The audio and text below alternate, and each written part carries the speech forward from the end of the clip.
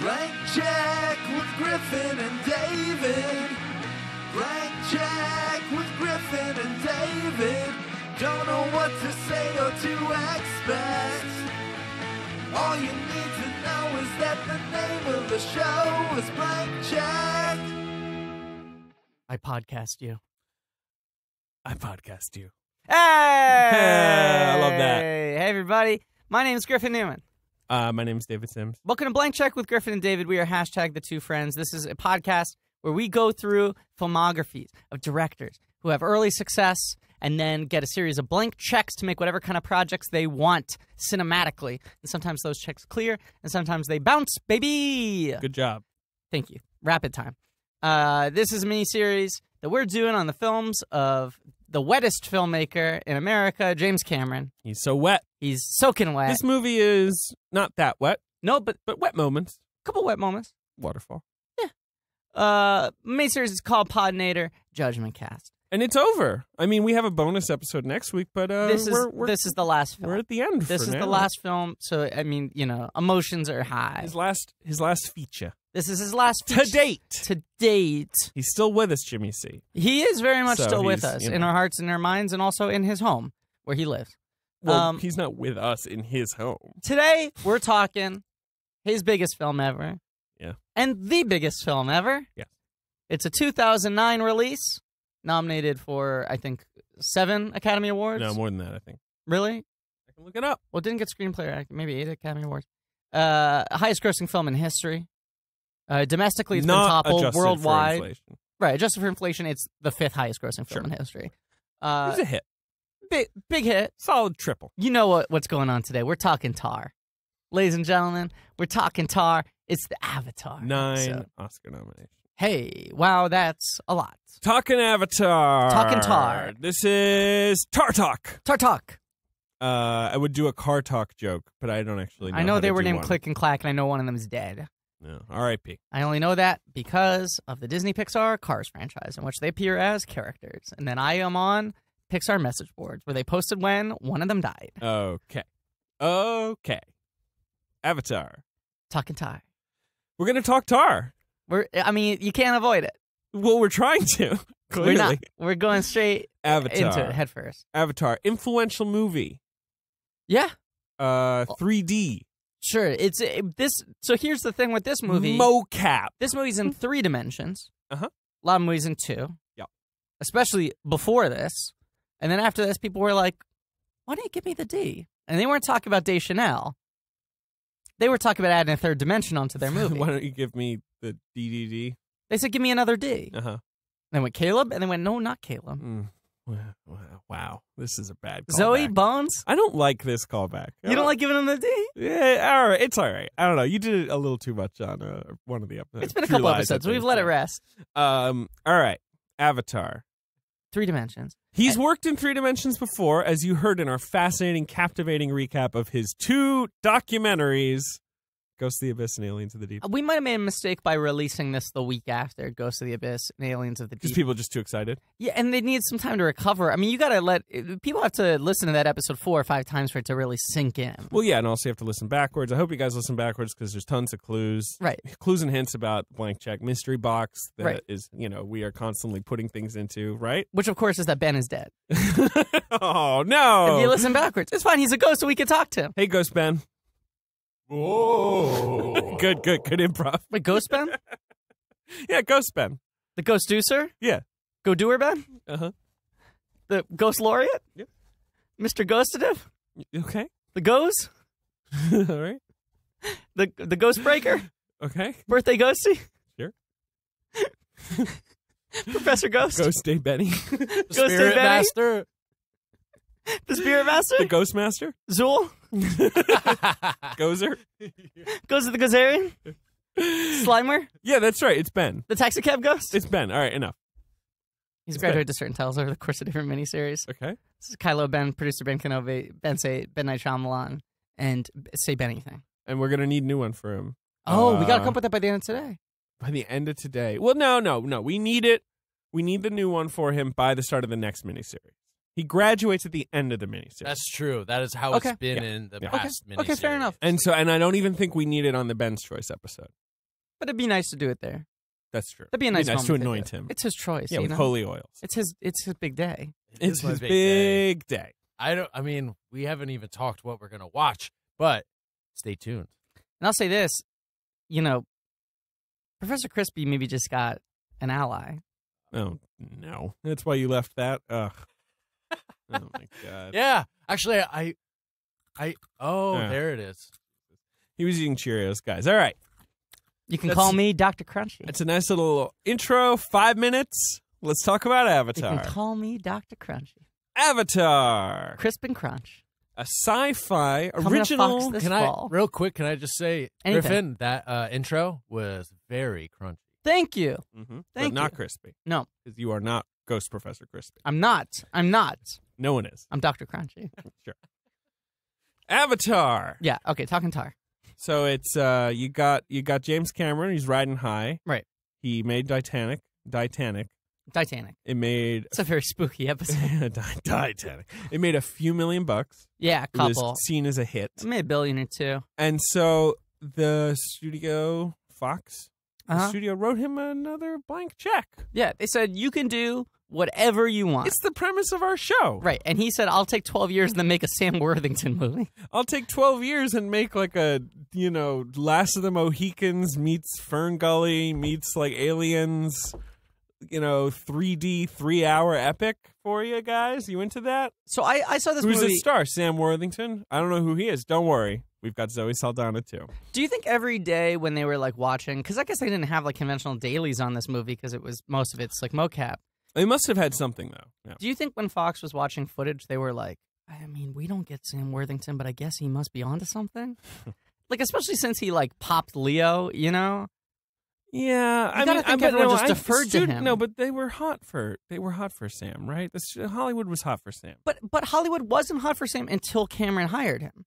No, I understand. The story is that Sam Worthington was living in his car when he got Avatar. I know, I know. And then after that, everyone was like, I guess he must see something. Like, I think everyone hired him just off right. the strength of we're, Cameron we're not him. gonna we're not gonna start with Sam. We're gonna start with Avatar. We'll get Okay. to Sam. I think Sam is great in this movie. Tell me about seeing the movie for the first time.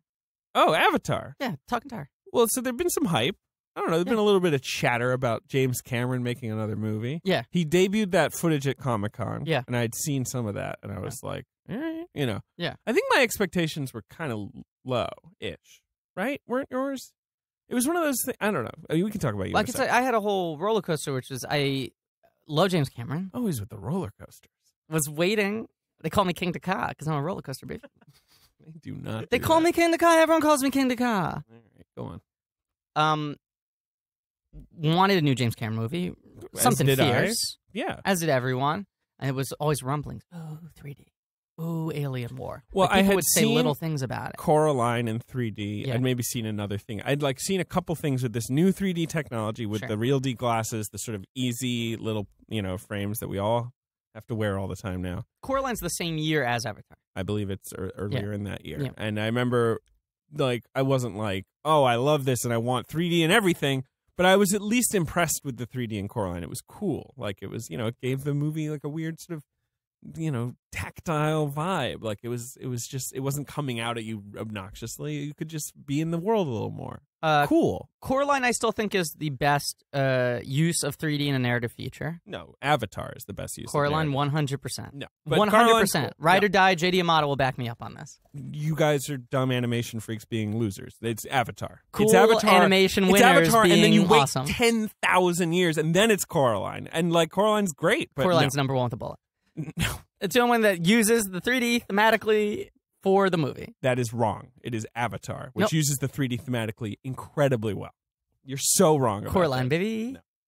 You can watch Coraline right now in 2D, and it's still like 98 percent a great movie. Not Not sure. so with Avatar. I disagree on both counts. Okay. Uh, I was a freak for 3D. Loved it. Uh, when they started re-releasing things in in a big 3D. fight.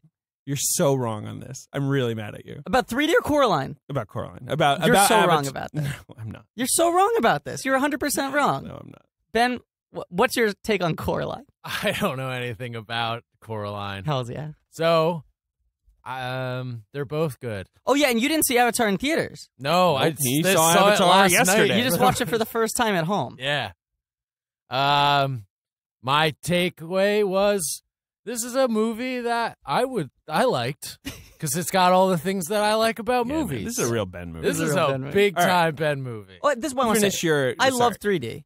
Okay. When they started releasing stuff in 3D, Disney was sort of at the forefront. Of, what hell? What else have there been? Okay, so they would be doing these very limited releases of like Chicken Little played in 3D a little bit. Chicken. And I went and saw Chicken Little because I was like new 3D. Well, there was the Rodriguez brought it back, right? Rodriguez did Sh- Spy Kids 3D and Shark Boy and Lava Girl, Right, but was Spy Kids 3D with the like the real red D? and blue. It was the red and blue, right? Right. I did not see Spy Kids 3D. 3D In- was really in good in 3D. that, but but it's with the dumb colors and everything, yeah, right? yeah, yeah. So I really liked the 3D in Spy Kids 3D, and I was like, I like this, the idea of everyone bringing 3D back, and then Rodriguez does Shark Boy and Lava Girl, and then Disney was starting to dip their toes because Disney's usually on the forefront of new technological advancements. So they released like Chicken Little in 3D a little bit.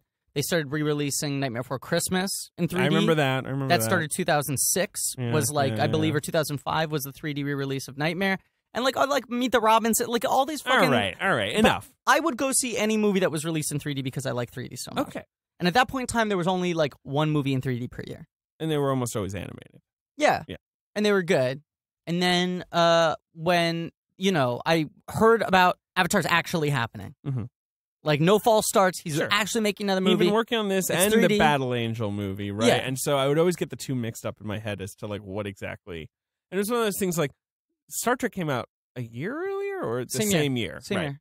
Yeah. And you know, you would see interviews with Zoe Saldana, like, and they'd be like, "You're an Avatar too," and she's like, "Yeah, I, I am. I mean, I filmed that a while ago, but yeah, I mean, I don't know. Like, you know, it's sort of baffled as baffled as us. Well, and that's the big thing. 2009 Comic Con July was the first time they showed anything from the movie. There was nothing. It was a huge mystery box, and all you Mm-hmm. Really just knew was. was James Cameron 3D Alien away. War. Yeah, I remember that was all you'd hear. Sure, sure. right?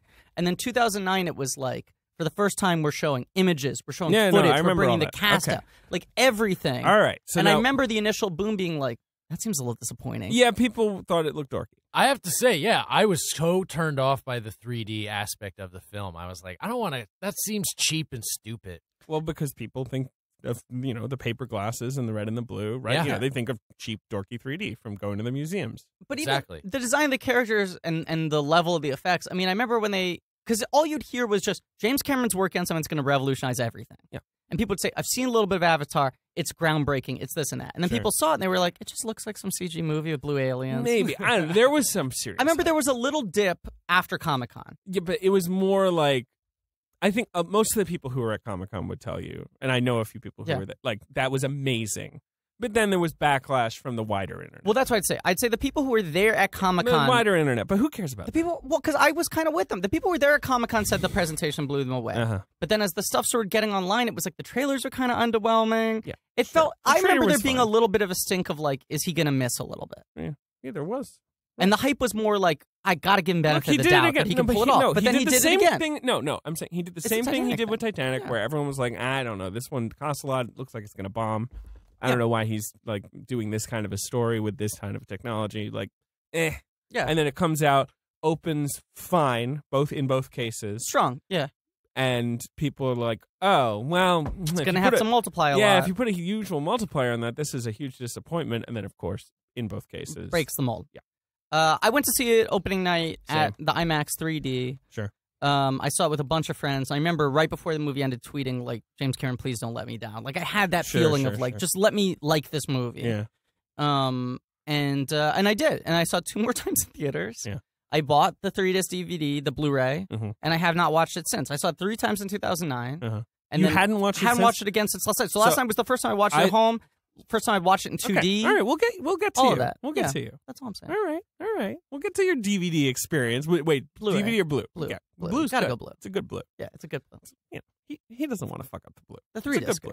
Yeah. Yeah, the the one that's in the sort It's of little you box. know Yeah, little cool. box, and It's it's nice got little like the sort of folders that you pull the disc. Yeah, like it's it. nice. I Okay. like it. So you saw it opening night. Saw it opening night with my girlfriend at the time, I think, and my Humble brother, my brother, and my brother. Yeah, double humble brag. I have a brother.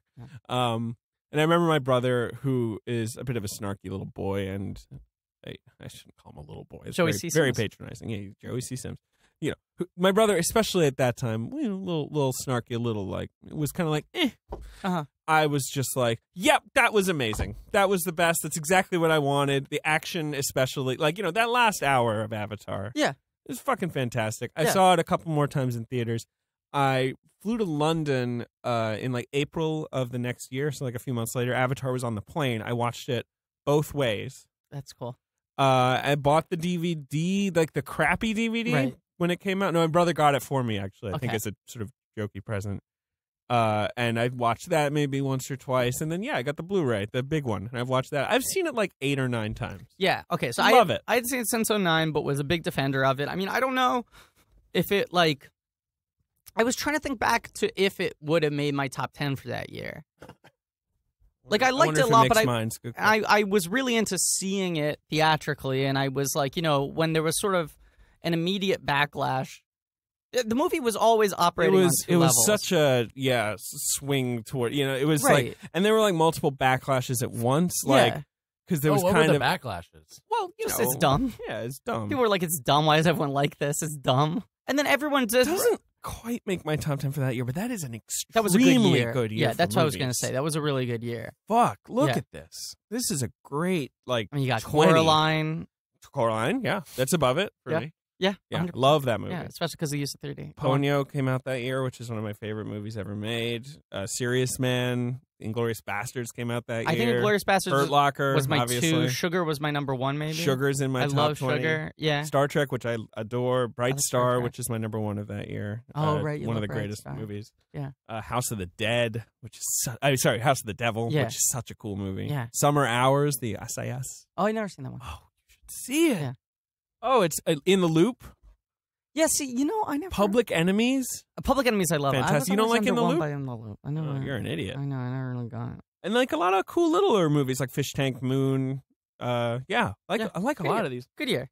Um, but uh, yeah, it just sort of immediately came out. Did well the first weekend, but not crazy well. The second weekend had no drop, and we'll then it was so clear. office. But I'm saying But it it was, was so clear hit. that it was going to be another Titanic. It was and then it after came a out. few weeks. Yeah. It came out late enough in December that there was no like Oscar campaign. It was like the second it was released, everyone was like, "Okay, it's going to get nominated for nine Oscars," and then it got nominated like three weeks later. You Mhm. know, mm-hmm. because it was the end of the year. Yeah, and and no it, one it, had seen it like it before. it briefly looked like a winner. I think it- it, I think at the time of the nominations, everyone thought it was going to win. At least they at least thought like it was one of these things where it was against the Hurt Locker, which had Yeah. not made a ton of money, but was so universally acclaimed. And it was yeah, it was like oh hmm, maybe this will knock it off. And the fact that they were exes like was such a good narrative. it was a cool narrative, Yeah. and then it swung back around to Hurt Locker as the sort of you know people got Yeah. a little sick of all Avatar. All yeah, I mean, the Hurt Locker uh, PR team did an amazing job. The second after the nominations came out, being like, I mean, who do you want to vote for, David or Goliath? right, You know, yeah, and no, no, making totally. it seem like And what also, does this he movie had an? Oscar, and like a woman had never won Best Director. That was the biggest two- movie of all time. This movie doesn't need Oscars. I think a lot of people thought maybe Avatar would win Picture, uh, Yeah. Bigelow would win Director. Anyway, Yeah. Oscars aside, But the backlash was sort of like, is this movie overhyped? And then some people were coming in going like, this movie's underhyped. And it was this weird movie that was always a fight. When in the end of the day, it was just like, good, solid movie. and also I think It's a like a lot of movie. Yeah. Yeah. Um, wait, At the end of the day, I can't remember. overhyped, underhyped, good, solid movie. It's Uh, okay. Professor Crunchy. Um, Doctor Crunchy. Sorry, don't call me Professor Crunchy. Uh, and now, of course, he's working on these sequels, Right. which, once again, much like the creation of Avatar, you're like, well, that seems like the wrong decision. That seems totally stupid. Yeah. Don't do that. I guess you know maybe it'll work out again. Like I mean, that's how. What else can you say? As you always say, I mean, if James Cameron tells me I want five Avatar movies, then I want five Avatar movies. your favorite quote of mine. Let, let's go through the story of the film and then get to at the end, like sort of sequel talk, because I have a lot of thoughts on about what the sequels could be or, and how I feel about them. Okay, so this movie starts out. You watched the theatrical version, right? I did. I've seen the extended versions. I think they're both very bad. I think all the additions, save maybe one scene, are really bad. And I think he made the right call with the theatrical cut. I didn't watch theatrical. I watched the extended. I know you did. Yeah. Uh, you're saying you thought he made the right call, Jimmy? Yeah. I thought you said I made the right call. I made like the the, wrong call. theatrical Yeah. cut is the correct cut of the film. I I think all the mentions of the school are added uh, weight to the film. I think the rest of the stuff doesn't really matter. But I also No, think I think the rest of the stuff's harmful. That's the problem. It's yeah, not good. I also because I hadn't seen it in like seven years, Right. I was having a hard time remembering what was or wasn't I in the theatrical. I'm sure you can, and that's why I'm setting this up. because I think it is important to cover the stuff he adds, even if not in depth. Um, the, not certainly not in depth. the the theatrical version opens with him opening his eyes and being like pulled out of like a chamber, Mhm. weightless in a space thing, and through a lot of clunky, like very fast expositional voiceover, just being like it is clunky, it's very clunky. but it's fast. the first fifteen minutes He of this gets movie you in the avatar. Yeah, but he gets you into the avatar pretty quickly for a movie that has to explain a lot. That's what I was gonna say because even in the the extended version, which has a full five minutes Right. on Earth, like present, you know, set in real time scenes before it even gets to the opening of what the theatrical version opens with, Uh huh. that version still gets him in the Avatar within 15 minutes, Right. Right. Right.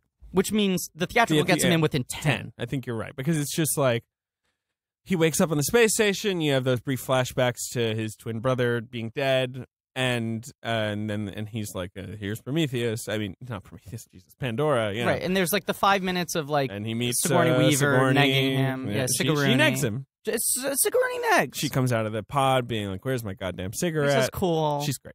Great. Oh, in this I love that part. Great in this movie. I love lab smoking. She's she's real hammy and and just what the movie needs. I think Yeah, Ev- everyone who's pitched. hemming it up is is doing a good job.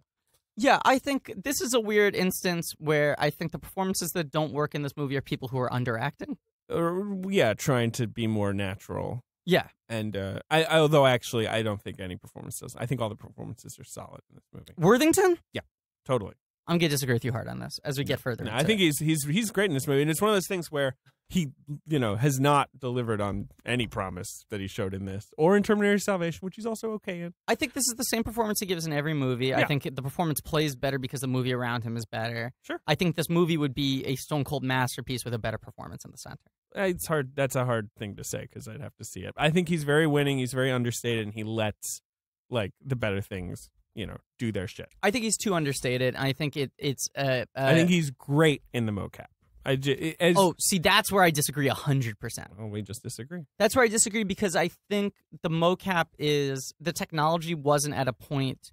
He's so small and he's so subtle that so often it feels like he's just kind of on neutral because he has to push through the We, mocap. dis- we disagree. Whereas Saldana is giving a much more expressive theatrical performance, which translates through the animation. Right, but she's supposed to be like that. She's supposed to be a, like a natural member of the world, whereas he's supposed to be uh, defensive and on guard, and But it I works. I compare it to to uh, Weaver in the mocap or any of that stuff. I, I think he's Weaver's Weaver's performance in the mocap is so weird because the avatar looks so much like her that you're a little freaked out. which is the only one they do that It's with. ki- yeah, it's They so break- uncanny valley. Like, they break the rules of the Navi design for Weaver because Yeah. everyone else has the really flat nose bridge. they do. And although- with her, they do the little Sigourney Weaver nose because they clearly wanted the audiences to feel comfortable with what's her. the tall, skinny guy called? Norm Uh, Spellman, no, the actor. Joel David Moore. Yeah, he, his looks kind of like him. His looks like him. I mean, but they. It's more. Yes, I.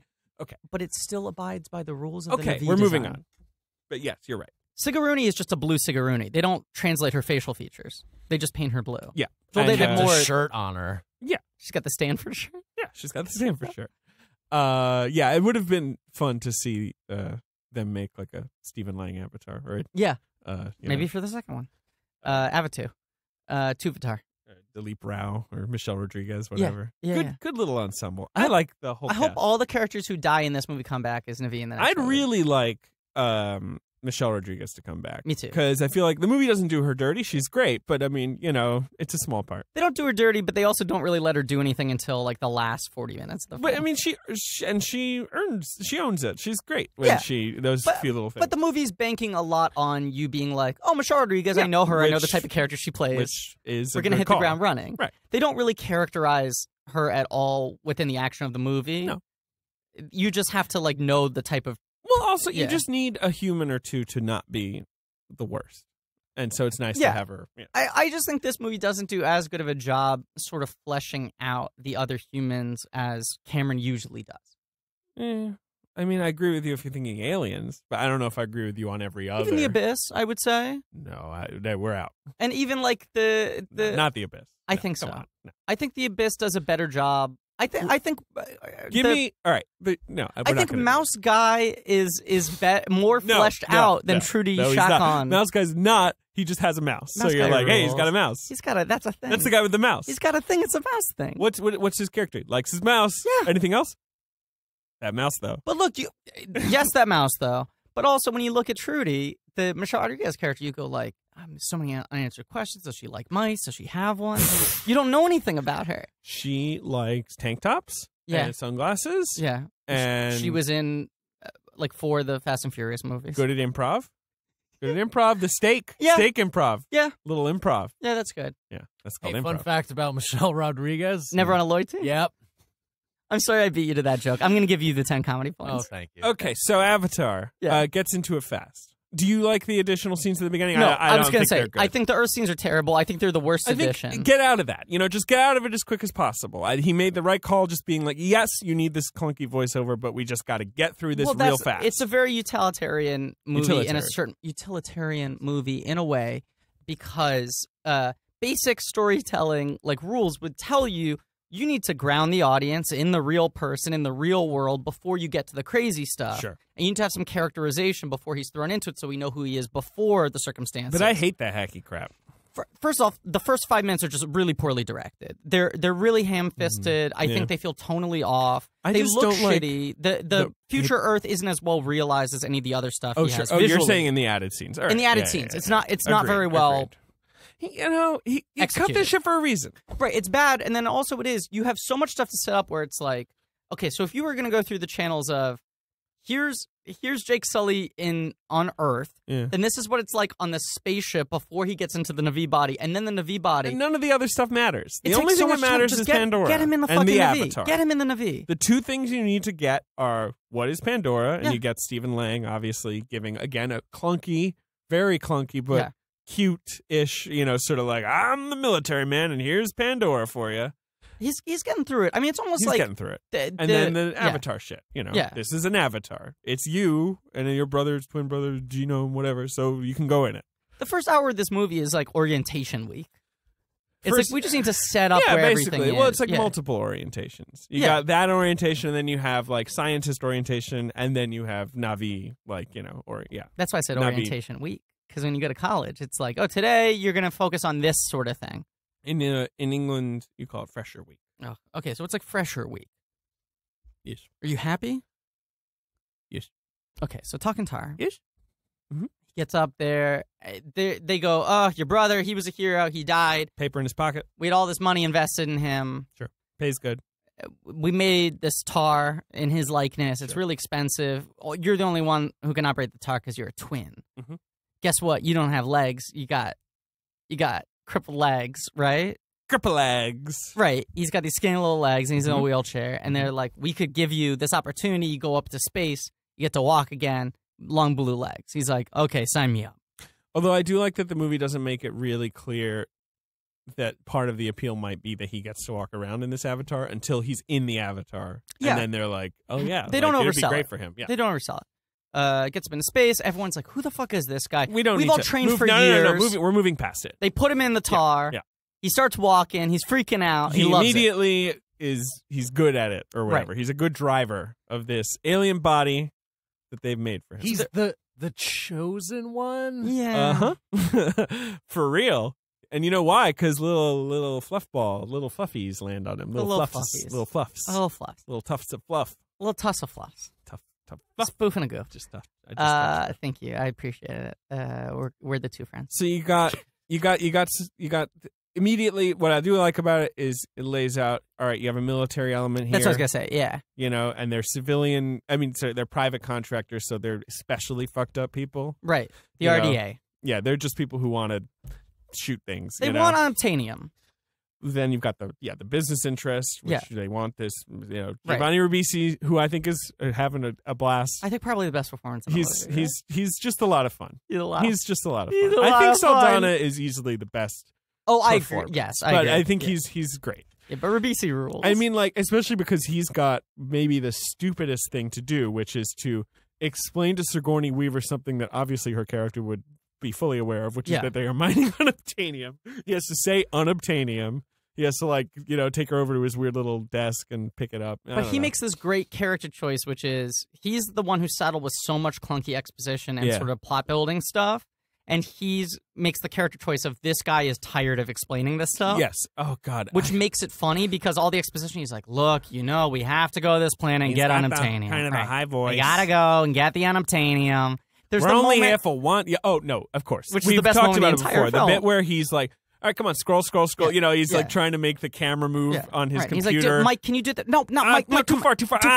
God, Ah. Jesus Christ. Great. Yeah. I love tech not quite working. Yeah, it's great. Um, but uh, yeah, the the three factions are he wants unobtainium, right? Which everyone always slams Cameron for like that's so clunky. It's a real scientific term. Yeah. It's a weird example of like real life being written like a James Cameron movie and Mhm. seeming too on the nose. But unobtainium's like an actual thing. It's it's a scientific sort of joke. Name for uh, elements that they can't define. Exact- You know, or like some sort of like. If you wanted one day to, you know, power a warp drive, maybe you could do that with unobtainium, Yeah. this magic Right. element with this that would somehow possess this property. I don't know, But whatever. They yeah. never say what the value of it is. no, they don't, No. which I like. I kind of like to, but that's what he wants, right? They hire this military group to try Hey, to. oh wait, I have a question. So Yes. in music, when you sell a bunch of albums, is like past platinum, you you go unobtainium. I'm now looking up unobtainium Yeah. on the Avatar wiki to see what it actually does. Thriller, Thriller went unobtainium. Did did it was just floating, and Giovanni Ribisi was just hitting it. Um, they need it's? I, I mean, as you can kind of pick up from the movie, Yeah. they like it's necessary in Earth because Earth has become such a kind of crappy, uh, like overmined, over it looks really factory shitty. world Yeah, that like unobtainium is this. I don't know. It's this thing It's that will, something we need. It floats. It floats. Who gives a shit? But the the idea is that I mean, as Ribisi says, it's the carrot or the stick. They want the unobtainium. They've hired two different companies to try to different approaches to getting it. So one is Weaver, who's going to be nice. You know, yeah. her Sigourney interest- Weaver's character, whose name is uh, Dr. Grace Augustine. Yes, and her uh, interest. they're, you know, diplomacy, you know, uh, Right. sort of the idea of whatever, like bring like of westernization, right? You know, Yes. it's it's also a flawed idea, which Sure. I like that the movie. But like, and she has her own vested interest in it, which is that she's a scientist and she's interested in exploring this other culture and their fauna and their Mhm. flora and Mhm. all of this sort of shit. she's a, a cosmic botanist, Right. She wants to teach them so that she can be the one on the forefront of this. She's she's the Jane Goodall of Yeah, Naviz. Is what she's trying to be. Gorillas Sure. in the mist. Right. Tars in the mist. yeah. But um, she's been trying to go about it the friendly way. Yeah, Diplomacy, she's- she's- build a bridge, get them to give us some unobtainium. For Right. what? Right. That's what they can't figure out. Then if you don't want anything. Right. Because you want money, they go fuck money. no, they're cool. Paper in your pocket, fuck that. You want a vet? Vet gets you wet. They go, no, we've seen True Lies. That guy's a piece of shit. Well, and like there's yeah, sure there's this ongoing idea that the world, the, the moon of Pandora that they live on, is in this like nice, balanced, harmonic state. Yeah. everything kind of works And they're like, as it should, if it ain't fixed, don't and break it. They respect that. They If don't want to mess with it. If it ain't broke, don't fix it. exactly. If it ain't fixed, don't break it. Um, and so the, If it ain't tar, don't have it. the humans are messing with that. Yeah. They don't need computers. They've got trees they plug baby. into. That's right, they do. Trees, nature's internet. So then, and then so then you've got the military, and they're sort of like, uh, well, just you know, I mean, be ready because we might need to fight them. And what their vested interest in this is they love fighting shit. uh, sure, they like to point and shoot. They're big, big gun war people, and so they'd love They to have, have, a good gun war. You know, they have power suits. They have like mechs. That they yeah, they got power in. loaders, but they're called amps in this. Uh, they're mechs. It's a it's a mech. Looks you like a power loader. Yeah, but it doesn't load. It's a mech. But they're the ones in the background at the loading dock that are like doing loading and shit. It's like a power loader. It's kind of like a power loader. Except it's for for fighting too. You But can they also- carry a big knife in one. Well, that but that's I mean Ripley was sort of the original amp because she was like, oh, I can load. I'll load a fight onto your ass. You know what I'm saying? Like she took that power loader, made it into a fight, No, but I'm just. fighting robot. I like Aliens more than I like Avatar. Controversial opinion because Yeah, the interesting tech take. in Okay. Aliens is more grounded, realistic, practical. yeah. practical. Yes. The tech in Avatar is not. That's fine. It's Uh-huh. more cartoonish. Sure. And uh, it's more. I mean, you've seen that. It's not just fuck. Aliens didn't invent the idea of a humans in a power suit. That's in like every anime. You know, come on. But come on, it's kind of him playing the hits. All right. It's kind of him playing the hits. I don't think so. I think it's him being like, "You get this. I don't have to explain it." Great. It's Yeah. playing the hits. I like that the mechs have like not a gun attached to their arm, but they pick up a Right, yes, giant I like I like that that. too. I like, I like that, that too. element. I think it's great. I like that a lot. Okay, that's the central setup. Grace Augustine doesn't like Jake Sully. She's like, why am I saddled with this guy? But you know what? What the fuck? Ribisi and Lang, though, Stephen Lang plays Colonel Quaritch. Because Sully used to be a Marine, he's a jarhead, as he self identifies a bunch of times. Mhm. And Lang is like, I can get through to this guy. Sure, I can. This guy can be helpful. I can activate that military gene in his body. So Lang wants, you know, Quaritch. He wants. He he says to Jake, "Look, you can do what she wants you to do. You can drive your avatar, but get in with them and like get me info. I want intel on how to take these guys down. You can help me out. Like look, their big home tree that they live in is Yeah. on the unobtainium deposit, and we're gonna go get it. yes. So he goes in, and you have some adventures on Pandora. Right. Okay. So he goes with them very quickly. Immediately, again, smart. Don't fucking waste time on this. Yeah. On him being like, oh, how to how to be an avatar? Ooh, how to Wi- pick up within like plant." two minutes of him in the Tar body on Pandora Yep. with Grace and Norm, he like comes face to face with. What is the first creature they see? The Thanator. the big rhino. Oh right, yes. I don't know what that one's called. called. And uh, and he like sort of chase. He he engages with it, and then it chases him. He jumps over a waterfall. He gets stranded from the rest of the group. Uh, no, no, it's the rhino. He beats the rhino, or he thinks he's like had it submit, but it's then Yeah. the Thanator shows up, Right, attacks right. the rhino, attacks him. Yeah, he jumps over a waterfall. Then Right. it's nighttime. He's gonna get eaten by a bunch of little. And the big thing is that so they're like circling around with Trudy in the helicopter, and she's like, "They won't let us out past dark. We just got to leave and hope that he's going to be okay." yeah, totally. So they all go, and he's just alone on on the moon of Pandora. mm-hmm. Uh, and uh, Fights the viper wolves. He's wet. Yeah, he's gonna fight. He's a little wet. Uh, the, and also this is Cameron showing off, right? Yeah. he's built this big glowy world. Yeah. and it's cool. It's really cool. This Can- is where the 3D is important Can I throw out something too? because it makes the world seem real. Yeah. Uh, lighting wise, Hmm. for whatever reason, because it's all digital, but for whatever reason, anytime there's This there's is all mocap, guys. Yeah. and, you know, at this point, the movie is ninety percent animated, film. Yeah. right? Uh, which is really weird that it's never considered as such. And Cameron like fights that later. Oh, this was animated? Well, this movie has a lot of live action stuff. It does. Can I throw a counterpoint out to you? I mean, yeah.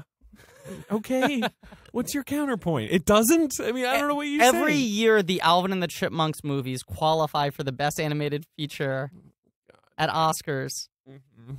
They're qualified to be a nominee because there's enough animation for it to constitute being an animated movie. Okay. And those movies are a couple animated characters in a live action world. But isn't this a submission thing? Like Fox would have to submit it as an animated. A hundred percent. But I'm saying this is more of an animated movie than Alvin the Chipmunks is. But what kind of an argument is that? That doesn't mean anything. It means everything. No, it doesn't. It doesn't mean anything at all. It's about the sky. Come on, listen. God. David's really loving me today. Ugh. I'm coming here to stir up some shit. I'm being a little stinker today. You really are.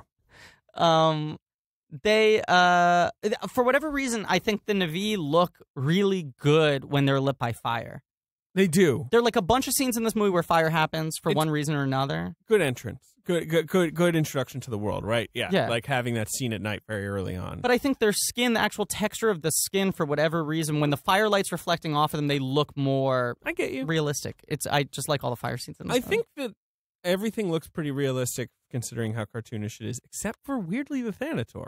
When I was rewatching, I was like, Thanator's maybe it's like it's like that it's like jet black. For some reason, it just kind of looks a little fakey. oh see i like thanator Oh my god, you disagree with me on every fucking minor point. but i think some of it i i was surprised by how much of the film i thought had started to already age a little bit Yeah, wow, we really disagree on everything. Just because I think don't technology has moved so fast that we're already like. What's a movie now that looks better than this? I mean, I think the Ape Work and the Planet of the Apes movies is like. Wow, we're really just opposite ends here. I totally disagree. David's playing the opposite of footsie under the table with me. He's kicking me in the shins. I think the ape work in the Rise and the Dawn Yeah. movies are is excellent, but it's you know you're like that's a cartoon. Now, obviously, that has the problem that it's a real thing. I You know, like the neutron.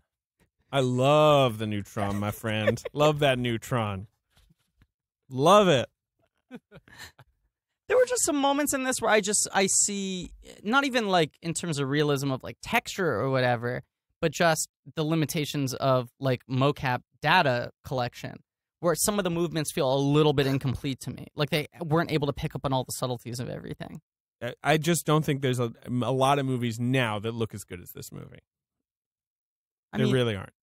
I mean, obviously the money helps. I mean, Yeah. this was a big budget Yeah, movie. they threw a lot of money in. I just I mean- this movie was in a lot of ways like a testing ground for technology stuff. Hey, couldn't you Mm, argue though that some of the video games that have come out in the last few years look better nope. than this movie? As someone who plays a lot of video games. Ben, did you hear that David doesn't like the moons of Jupiter? no, we're not doing that again. Don't get We're not started. doing that again. He doesn't even. It's like that. He's like trying to say he likes Avatar. He doesn't even like. This is a Europa. moon. You got to keep that in mind, by the way. Yeah, it's a moon. It's a moon. It's a moon. like a moon of Jupiter. It's the a the ju- moon of gas Jupiter. giant. It's Yeah. sort of like a blue Jupiter. Yeah. So I'm just gonna move us Well, forward. I was gonna say he gets quickly. stranded. He He's gets in survival stranded. mode. He very quickly comes across Neytiri. meets Neytiri, Who who's rules. gun, who's great, great fucking character. Zoe coolest. Saldana, she's, She's super one of my cool. best friends. Well, I think you're acquaintances. I know we're pretty close. We hang out like a lot. We don't see each other a lot, but when we do see each other, we hang out like really hard. Do you know what I'm saying? I do. Um, Zoe Saldana plays her, and she's gonna shoot him with an arrow because she thinks he's a big dork Yeah. who sucks, And which he kind of is. That's what you did to dorks. But then a fluffy fluff lands on her bow Yeah. and is like, "Watch out, fluff, fluff." Yeah. And so she's like, "All right," and like helps him instead. Right. And then a bunch of fluffy fluffs land He's on got a pure heart, but he's stupid. You know, again, uh, this is some obvious fucking bullshit. Yeah. I cannot deny that there's a bunch of fluffs that land on him, and that means that everyone has to be chill with him. But the movie's just fucking. It's it's just it. like, yeah, whatever, like, man. let's just get you to got it. a problem? yeah.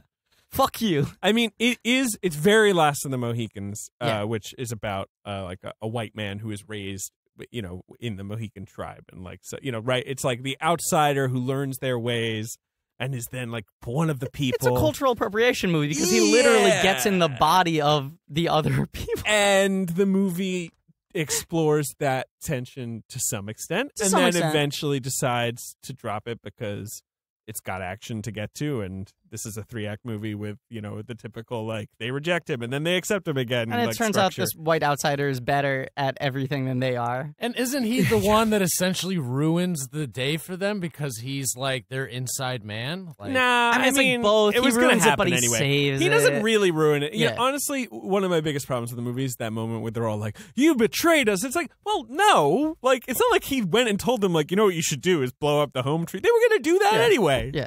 He didn't really do anything at all. They were all about that unobtainium. That's the thing. I mean, they were going to get there by hook or by I mean, crook. he gave them a map to the inside of the tree, but how Yeah. useful is that? They just blow up the tree. well, and like, Quaritch is constantly like, getting me good intel. But then you watch the intel and he's like, their people are interesting. yeah, know? the intel's like they live in a tree, right. And I ride horses, and I have a, I have Yeah. a flying thing Yeah. that I fly around. Yeah, I think that one's cute. yeah, yeah. I date the chieftain's daughter. and She's nice to me. It's like, good intel. The other guy doesn't. Apparently, the chieftain's like daughter me. is single. we got everything we need to go in now. so, uh, yeah, you know, so like, I mean, obviously James Cameron is quote unquote getting away with everything, the, the themes we're talking about because this is about blue people, right? So it doesn't have to be about one particular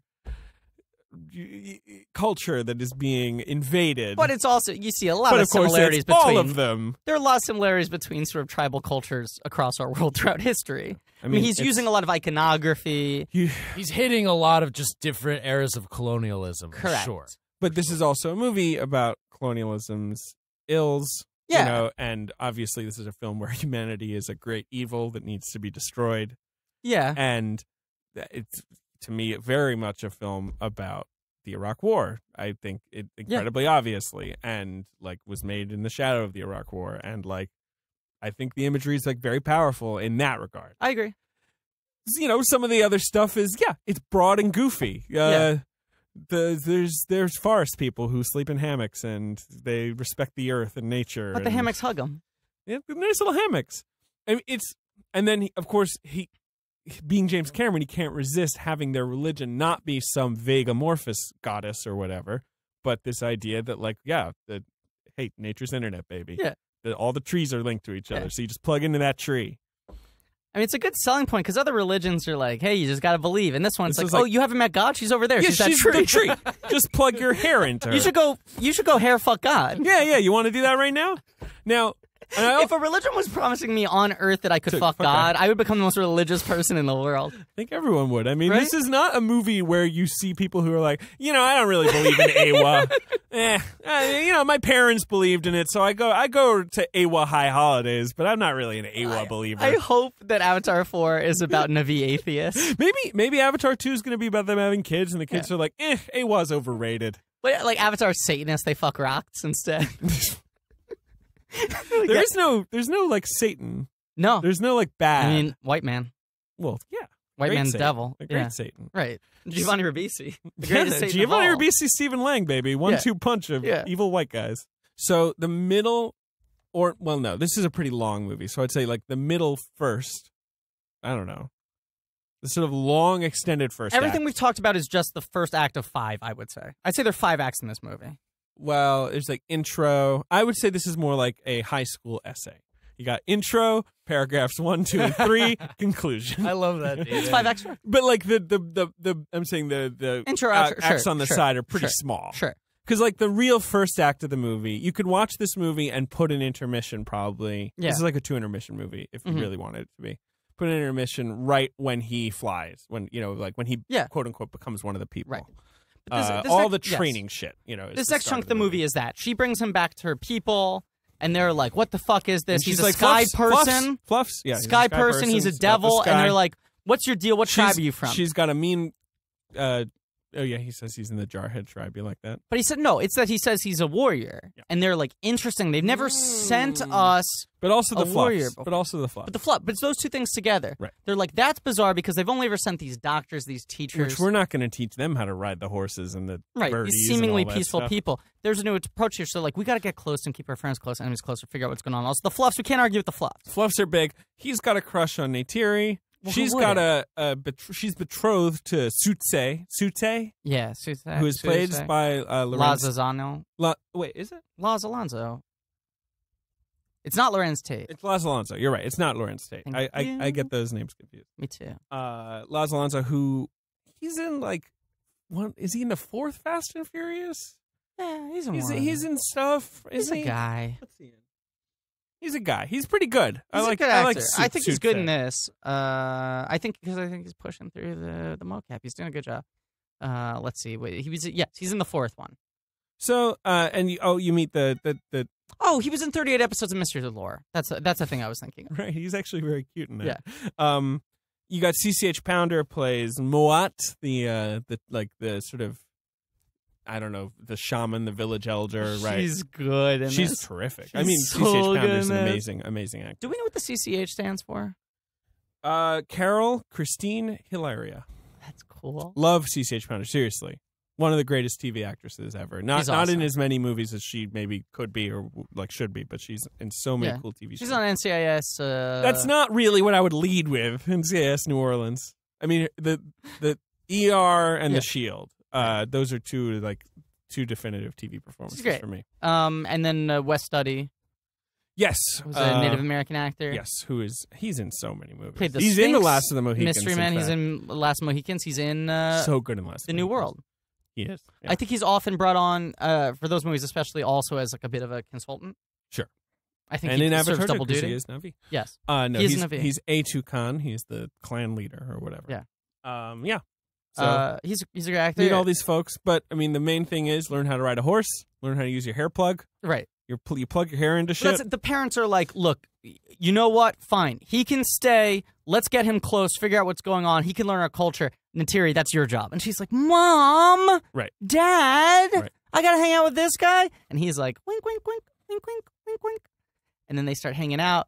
She's giving him the lessons, the ropes. Sute's a little mean to him. takes like 50 minutes. I mean, like 50 minutes of the movie are just sort of like him. Yeah, but I think this is brilliant. Well, it's all visually stunning stuff. No, but I also think it's, you need it because Yeah. you need to feel how bad it is when when you know the attack happens. 100%. The, Yeah. I you mean, need the whole, to be in the world. the whole key of the movie is to get you in this world, and it's also to uh, explain all the rules of everything now. So at the last hour, you can have almost no dialogue and just go breathlessly through everything Totally. with shorthand already in your back pocket. Totally, so good. Um, and it's it's well done stuff. Uh, you know, maybe leans a little bit too much on voiceover. A lot of voiceover. Uh, which the device, of course, is that he's talking to the camera Yeah. for his like uh, science log. Oh, come on, guys. Like Who it. doesn't love a good confessional? Me too. I like it. I'm into it. Um, I wish that, I I we think he's got more at gossip. Ben, I'm surprised he's good at gossip. I'm surprised we haven't talked about the the most prominent element of this film and the one I expect you to react most strongly to. What's, what's that? The Navi are big, baby. Oh yes, They're like you're 10 feet tall. I did notice that. they are very They- hard to kill. There's humans. Then there's Navi. They're bigger. Yeah. Big and skinny. Mm. like a person but bigger. You know, you see their hands by our heads. And what's cool about that, you're seeing it on the big screen. I didn't get to see it on the big Yeah. screen, but you're seeing it on the big screen. You're like, damn, those hands are huge. I'm like, this movie was designed for dummies like me. this is basically just like, oh, they're blue, it's 3D, they're big. All right, let's do it, kids.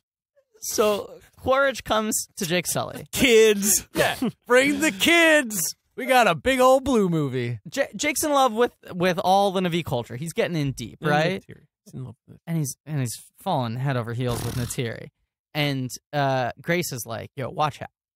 You got to keep a separation between work and play, Eh, She's not really like that. church and state." In the extended version, there's Yeah. the scene they have where she then talks about she ran the school for the Navi, trying to teach them, and it resulted in a massacre that killed Neytiri's sister. Yeah. Which I think is a very good scene that uh, Sigourney crushes. Sigourney does a good job. Thank God they cut it, in my opinion. I think it's a good scene. I would have kept that in. I, I think it's it's too much info tilting Neytiri against uh, the ultimate decision she's going to make. I think they did a good job. I think it helps her character a lot. I disagree. We we just we're disagreeing on everything. Everything. Oh, I thought you were saying like she gave him the talk. You know, like the the How- like like talk Well, about the Turoks the- and the floating the other tree thing, things. Well, no, no, no, but no. The other thing is we should say in the extended edition, the, Turks sex and the scene is way longer, yeah. and they like they join their hair together and they go like ooh, Yeah, there's a moment where she goes, oh, oh. yeah, which is uh, again very wisely cut. no, Oh, it should have yeah, been even longer. That's gross. I slowed it down when I watched it. Um, oh boy, the, the uh, she has this little relation because she starts out hating him, and she has this little like beat with him where she's like, "Look, I know what's happening." Like I remember it too when I first started tarring, and it's pretty addictive. But you gotta understand, like this is just a thing. This is a part of life. You gotta have some time for yourself. You can't get too deep into this. right? I don't like that. I like it. I don't because again, I feel like that's not what the movie's about. The movie is not about like the dangers of him getting lost in his avatar. We know that him getting lost in the avatar is the right thing for him to do, and we're totally on board with him like leaving his dumb flesh body behind because it sucks. But that's It's a why I like it, body. because but eat makes your him different. eggs, drink some coffee. no, I mean definitely eat your eggs and drink some coffee. Yeah, and take a Get- get take a shave. food in Take you. care of yourself. Yeah. Um. Do you think they can poop in the in the chamber in the like the coffins, the sarcophagi? You know what? They didn't deal with that at No, all. They didn't deal with it. Mm. They don't do a lot of that too, where it's Like, like, it'd be funny if like they open it and they're like, Whew. go, go on. Yeah. well, they don't establish like the kind of Matrix rules of like if you die in the Matrix, you die here, kind of stuff. No, because like, you don't. If you die in the in the avatar, you do wake up. and You that's feel thing. great. when she's saying that, like you know, he he um. Which losing weight, and he's like, I just ate a big feast there, and she's like, you gotta take care of this body because Sure, it's like sure. that food doesn't translate. Right. Do you think if he takes a shit, like if he feels like he needs to take a shit, and he takes a shit in the Navi world, and he's like, good, got that off my deck, and then he wakes up and he's got like a full load, He has to. I think he has to go take care of that. Hey, you know what? Tweet Right? at us, Yeah. guys. Yeah, Uh, tweet let us definitely know. avatar hashtag avatar dump. Just do it, right? yeah, right? Poopatar. Avatar. Oh. Tweet Avatar at us. All right, so what I like about that thing that is set up in the Grace Augustine scene is that it it does show that is the difference with him. Where everyone else, it is just a job, and this is the life he's going to take. The fact that she's like, you got to keep a distance between work and life. You can't get too deep into this stuff. He's the one guy who actually has nothing going for him in his outside life. He's ready to go all in on this shit. sure, absolutely. Makes I like sense. her giving him the warning because then it makes it clear that it's like, no, he's the exception. Okay, fine. Different, different, difference of opinion. You like bagels? Love bagels. Cool, cool. We're friends again. Ah. We're always friends. We're God best friends. it. We're the two friends. Fucking hell. Fucking hell, we're the two All right, friends. so she flies. That's a big deal. Yeah. He gets his little pterodon or whatever. Yeah, they call them banshees, but that's like sort of the colloquial name for Alcards or something. It's like Aleopteryx. I yeah. And I looked up Leoptrix is like a specific is one of them. There's another name they use, but they call them banshees colloquially. Is what they call the dragons. Leonopteryx. Uh, and then um, they uh, they she she talks about Toruk, foreshadowing. She shows him the Toruk skull, Yeah, there's one scene of foreshadowing, just so you get who that is. Right? And you also are then able to understand Last Toruk shadow. the first flight. Um, well, of course, they needed to set up Toruk the First Flight, which would eventually hit arenas seven years later. Right. They needed to set that up. Like Toruk Ta, this is the guy's last show. He's the biggest one. Because My God great forbid- grandfather. God forbid that show do any any heavy lifting with the storytelling. Then my grandfather, he he was the first Toruk Ta. There've only been like four or five since then. If you do that, unite the tribes. Toruk, da. it's Toruk Makto. Toruk Makta. Why do I keep on saying Toruk Ta? I don't know. Rider of the Last Shadow. Toruk Makta. Makto. right, Makta. Okay, so uh, all he gets his stuff- own. She's like, look, this is no easy thing. Uh, unlike riding a dire horse, if you're linking up with a It's banshee, like, yeah, it's for life. permanent permanent connection. So he has to go and kind of like He wrestles one. Wrestle I think one, that scene is fantastic. good. The whole scene where you know, and then the flight he takes, and again in the 3D, Cameron, like few directors, gets like 3D works best with negative space. It works Yeah. best when you're you know to give a sense of being in the picture. air. Yeah. Lots of like yeah, zoomed out shots. I mean, him and Michael Bay, they're the only ones who get how to use Spatial 3D. geography. Cameron's got a killer sense of spatial geography. It's the best. You need that for 3D. Yep. Um. Okay, so that's where you say like the intermission would happen, That's intermission one. Intermission Right. two. and then they fuck after that. Yeah, because she's like, okay, so you're one of the people now. Like he, because Stephen Lang's uh, Quaritch's giving him the like. That's what I was trying to remember. We're moving that, in. We're moving that in. happen before or after the fucking? No, that's before. Okay. He says we're moving in, and, and Jake Sully's like, well, I, I have my one last investiture. You know, my bar mitzvah. He's like, I got real legs for you. You can go back to Earth, be able Today. to walk again. Yeah, Why do don't you get on now. that flight? Leave now. And he's like, I got my really have my bar mitzvah Yeah. to get to. So Right, he and has his bar mitzvah. and he's like, if I get the bar mitzvah, I'll be able to convince him to do anything. Give me, l- at least let me stay for that. So he does the bar mitzvah, and then Neytiri's like, now you can pick a mate. Blah is the best singer, which I think is First, he has to Pretty assign cute. the candles. My first candle goes to my father for always supporting me in all of my interests. Dad, you're the best. Like to bring up to the stage Robert Sully. okay. Da da da da da. Da da da da da, feeling hot, hot, hot. Didn't and then Robert Sam Sully Worthington- walks up, does a little dance, lights the candle. What? Doesn't Sam Worthington what? Isn't he Jewish? He played a Jew in uh, The Debt or whatever that movie was. Yeah, was he called. did. Uh, There's that crazy casting in that movie where he's supposed to grow into Ciarán Hinds. Look, maybe he just really, really laid into the, the booze and the the the fatty foods. Those are two very different faces. and the, the sixty cigarettes a day. Ciarán Hinds has Ciarán a Hinds has a of face. sixty cigarette a day face. Yeah. Right? Yeah, but like not like he's Like, just smoking, he's kind of a cigarette. and not just that he's smoking out of the mouth, but like he's sticking cigarettes in his eye holes and his nostrils. Like he's smoking out of the full face. I love I love Ciarán Hinds. He's a great actor. uh anyway, he becomes one of the people. Yeah, the Bulldozers roll in after he has sex with Neytiri. Right. Well, let's not gloss over that. Yeah, let's get into it. They fuck each other's braids out. But how? oh. Boo. No, come on. I'm going to say Boo. Ben, three comedy Thank points. you. thank you. The bulldozers come in. Yeah. This is the most Fern Gully scene. Yes. Uh, and he smashes the camera, which I think is is, is cool. Now, let's point something out about the bulldozers. Pretty, uh, pretty cool. Boy, Go on. we're not even tired. Go on. You know what? They're You know what I liked about those bulldozers? Pretty cool. no, they're so big. yeah, they're Okay. big. I mean, a lot of big things in this. Speak on that, Ben. All right. Well, it reminded me sort of of like Mario Brothers, uh, the third one. You know that last Super Mario level? Brothers 3? Yeah, Yeah, yeah, okay. Where it's like the big ass ship. Like I I, love don't those know. ships. Reminded me Uh-huh. of a huge ship. Like the, the that's what I got. Great, thank you, Ben. I agree. So I like all this stuff in the movie, Yeah, me too. but I love like everything post. I like love Yeah. everything post bulldozer when things get real. That's where I think the movie cashes in its blank. Yeah, I agree. The movie spends an hour and a half investing you. You know, it it makes you put a bunch of coins in the slot machine so that it can pay out in the last hour and and, it, a half. and it and it does. You're That's- spending a lot of money, and they're asking you to invest a lot of faith in them. It's not dissimilar to Titanic, which does like No. a lot of legwork and sometimes can be a little corny. Um, but then you know it works and, because it and I pays think off so well. uh, Inception does a similar thing where it's like stick with The us for the first chunk, and then the last half where it's pure play. We're going to give you all the fun. Love Inception. Let's Great movie. Great movie. Let's do Christopher Nolan right now. Yeah. Right now, Uh, yeah. in the middle of this episode, intermission, Following. nine episodes. Christopher Nolan. 1998's Following. Nine films? Does he have nine films now? It sounds about right. That's a I, good I'd number. have to. Yeah. Yeah.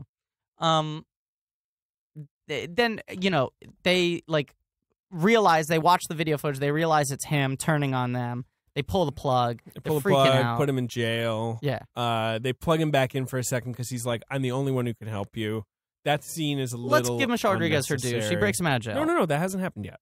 They plug him back in because he tries to negotiate with them at the Oh, home right, tree. yes. That's when they like tie him up and tie Yes. Grace up. Yeah. Uh, and then they unplug him again, put him in jail. They unplug and plug like four times in the times. last hour and a half. They Yeah. do a lot of that, which is funny because they're like, "No, you can't do that." Yeah. It doesn't seem to have any. But it keeps on happening where the military's like, we're gonna like, plug "Get him him of here." and then they're like, don't unplug him, don't unplug him. They unplug him. He's like, what's going on? They're like, you're unplugged. And he's like, wait a second, plug him back in though. Like I love that it's like- all about PR too. Like it's just like because we'll look like bad guys if we slaughter a Me race too. of I like that too. Yeah. That there is some kind of uh, like that's that's what they're worried about. but they keep on plugging back in and going like, wait, he's doing the opposite of what he told us he was gonna do. God damn unplug it. him, unplug him. Get him you outta can't do there. that. You can't do it. They unplug him and he's like, sorry, sorry, sorry. Plug me in. Plug me back Plug in. me in though. though. No, okay. So they lock him up, and then uh, then the home tree destruction happened. Yeah, which While is he's locked probably. I mean, I the think best sequence in the film. I agree. yeah, absolutely incredible. Gaspar Noé said he cried, he sobbed uh, during the sequence. I'm of with you, theater. Gaspar. Yeah, I'm with you, fucking. I, I sobbed when you jizzed in my eye during Love. yeah, very similar scene. That's a real movie. That was another use of 3D. Yeah. The jizz flying in my eye. Yeah, Uh, you heard of this movie, Ben? I I'm familiar with that uh, director. He did that movie about ayahuasca. yeah. That's cool as fuck. Enter the Void. but I haven't seen the sleazy sex movie. No. Hey, it's not sleazy. It's beautiful. Oh. it's called Love 3D. It's probably a six out of ten. Oh, the movie with 3D cum flying Yes, is that's what classy. Yes, that's what we're talking oh, about. so sorry. So the home tree sequence, that's where I really, I mean, obviously a lot of people point to the 9-11 imagery Yeah. of like the big tree collapsing and all that, and that's for sure. But also I really, to the shock and awe shit, like it really did feel like war movie stuff to well, me. Well, and here's the other thing that happens at this sequence of the movie. I mean, there's a lot of Iraq war reference because like Yeah. Michelle Rodriguez, freaking daisy cutters. Yeah. I wish I could do her perfectly. She'd be such a freaking fun daisy cutters. freaking daisy cutters. freaking daisy cutters. Uh, there's also at this point in the film, there's been a little foreshadowing, get a little bit of sprinkling, but this is where uh, a major element of the film comes into full bloom for the first time. What? You know what it is? I I don't. Dun-na-na! So good. Dun-dun-dun-dun. Ah, it's the best. Because up until then, it's He's been, been, like Horner's been teasing you. he's been teasing you, been and working sometimes the you get a shaft. little like dun-na. Yeah, a little bit. Maybe Sometimes you get a dunna. But yeah, it's true. He really waits to deploy his big theme A lot of the scores repurposed from the New World. It has very similar with, themes. with a little bit of uh, Titanic thrown in. A hundred percent. yeah, until you get to the war stuff, and then the dun-na-na-na overwhelms, and the dun-na-na-na fucking rules. his New World score, by the way, is one of his best. I love. Oh, I score agree. so much. That's What a my like great number score. one get out of a panic attack. Totally listen. good. Yes, good to let relax. I love to. it. Yeah. And he hates the movie and thinks that mm. Malick fucked it up because he wrote the score for different sections of the movie, and then Malick was like, "But what if?" Like he chose different cues for different parts, and then Composers. re-edited the whole. Horner's an ornery bastard, though. He's He also got in a dead. huge fight with Jim Cameron. I know he's dead. Motherfucker's and dead. R.I.P. Love you, Jim Horner. He was an ornery bastard. He gets in a big fight with everybody. Uh, he was very precious about his work, and then you listen to it, and it's like, oh, this is that same score he did a couple times. He, he would. He was uh, one of the many composers out there who, yeah, sometimes reuses theme a little bit. He's got some themes he reuses. A little bit, a little bit. Tom Newman. but he comes up with this very simple, very effective avatar thing that makes you, and it simultaneously feels ominous and like kind of scary and triumphant. Mhm. So all the times, like whether it's the humans getting upper hand on the Na'vi, and you're like, oh shit, and it's like and it's like Jawsy. And then the times when the Na'vi are coming up, and it's like da-na-na-na, and you feel like, yeah, fuck nah, Na'vi, fuck yeah, Na'vi. I love the battle scene so much. So you know, like he. So I mean, after this, it's all it's all war. It's all war. It's Uh, all it's, out know, war, Michelle baby. Rodriguez frees them from prison, takes them back to the to the floating mountain. Yeah, she's cool. She makes it clear that she's a friend. She has that great bit where she points the gun at him. She's like, "Yeah, you know what that is. It's a Yeah. great, great little, it's a gun. great little." I'm Michelle Rodriguez. You know me. You've seen me in like ten movies. Even if you don't know my name, I you know who I season am. two of Lost. Yeah, you watched fucking season two of Lost. Everyone was Ana watching at Lucia, time. baby. I might be the reason you stopped watching, but you were watching at that time. I was just a real bummer for too much of the show. Yeah. They didn't. They didn't get me to heal my character. They, Basically, they did her dirty on that show. They did a little. bit. Ultimately, Well, I don't think they ever paid her off. what? Uh, uh, you mean the character? Ana Lucia, yeah. Yeah, I mean they always wanted her to be a one season deal. I don't know. It's interesting. It's interesting what they're. Yeah, you're right. I think they did it a little. I think it shows what a bad job they did with Ana Lucia. That when they kill her off, spoiler alert, guys. Yeah. Um, they have to kill off another character because they realize not no one was really going to care. Yeah, yeah. like no one would be really sad that Ana Lucia was. You know. I never watched Lost. Should I get into it? David Yeah, it's so loves good. it. Yeah. Okay. Should I, haven't just start it from the top? Uh, no, I'd say start with the last episode, then work backwards. definitely. No, no, no, Oh. no, no. Uh, you know, last first, penultimate second. You know, like that. Just work, work, Work from both the ends. middle. Like, Like- eating a hot dog from both like ends. Cloud Atlas, the novel. Great. Thanks. Nesting dolls. all right. So yeah, all the war shit's just cool. Yeah, it just rules. It's really well done, uh, especially in 3D. It was just super immersive. I mean, this movie just uh, you know took you into a, a place. Yeah, have you heard the story about Steven Spielberg? Uh, you know, Cameron showed Spielberg this movie before while he was still working on it. Mhm. And the scene, I think it's the scene where we should say, you know, Jake plugs himself into A1 and says, like, this look, my world's really shitty and they're not nice people and they might come fuck up, you know. And she's like, "Wait a second, who the fuck told you you could do that?" And he was like, literally everyone says you can fuck the tree. And she's like, "No, no, I know they said you can fuck the tree, but I mean like that, like morally that you can do. You can't just go to AWOL and be like, "Hey, fight this war for me." Well, he does. And he does. there's, you know, so, you know, when as the big war is playing out, all the animals and the birds like suddenly emerge from the forest. When and, she's like, hiding behind a tree and she's got and her she's arrow, like, and you "Eywa think has heard you. Yeah, which is a great moment. Apparently, Spielberg like stood up in the in the cinema, and was like, "Yeah!" like that. I love Steven Spielberg. He, I've heard so many stories about him being like that, like being like a really active participant in movies. Yeah. Uh, and also, you know, the the Paranormal Activity story. Which Where- one? Oh, where he made the them take the film and put it in a garbage He, bag. and no, throw it out. he Yeah. showed up with the film in a garbage bag and said, like, I don't want to watch this again. Like, take it away. Like, this scared me too much. But there's the, the thing with this movie is it's so fucking earnest Very earnest. and it's so fucking dorky. I forgot how dorky this movie it's, is. It's it's quite dorky. You know, but it's like that's the thing is just he's got no shame about it. It's like uh, you're talking to your friend's dad, and he's like, "Well, you know, I write a little on the side." And it's like, "You write?" He's like, "Yeah, I've been writing a little sci-fi novel." And it's like, "Can I read it?"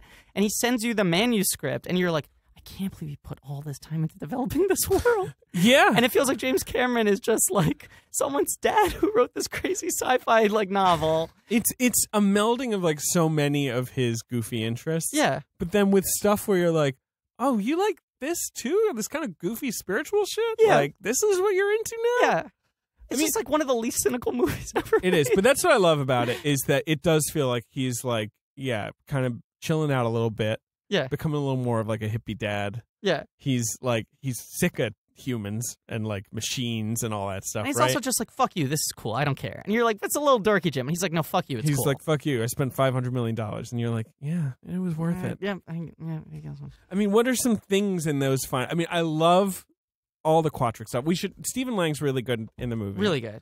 Yeah. Uh, and I feel like he's well, he's really cool in um Don't movie Breathe. Don't Breathe that just Yeah. came out this year. I feel like I was gonna say that. I feel like he hasn't gotten quite enough like splash like over uh, spillover Yeah. from this movie. But that that but feels like great. the first really substantial role he's had since then, which is a bummer because he's a really good actor. Everyone always talks about him as Cable as being he looks like Cable. yeah, he'd be a good kid. he'd be fine. He'd be. I don't know that he'd be good, but I uh, think he'd do a be- good job. I just don't care. Yeah, me neither. Um, but I love all the scenes where he holds his breath. Yeah. Does a thing, and Yeah. then it's finally like, all right, and puts on the breathing mask. All this Cameron stuff, you know, like where he's like, "This is how the tech works. Yeah. Do you get it? Then I'm going to play with it later. Yeah. Like, you know, you're going to see people holding their breath and losing their breath. Yeah. You're going to see how they avatar, like you come in and out of it.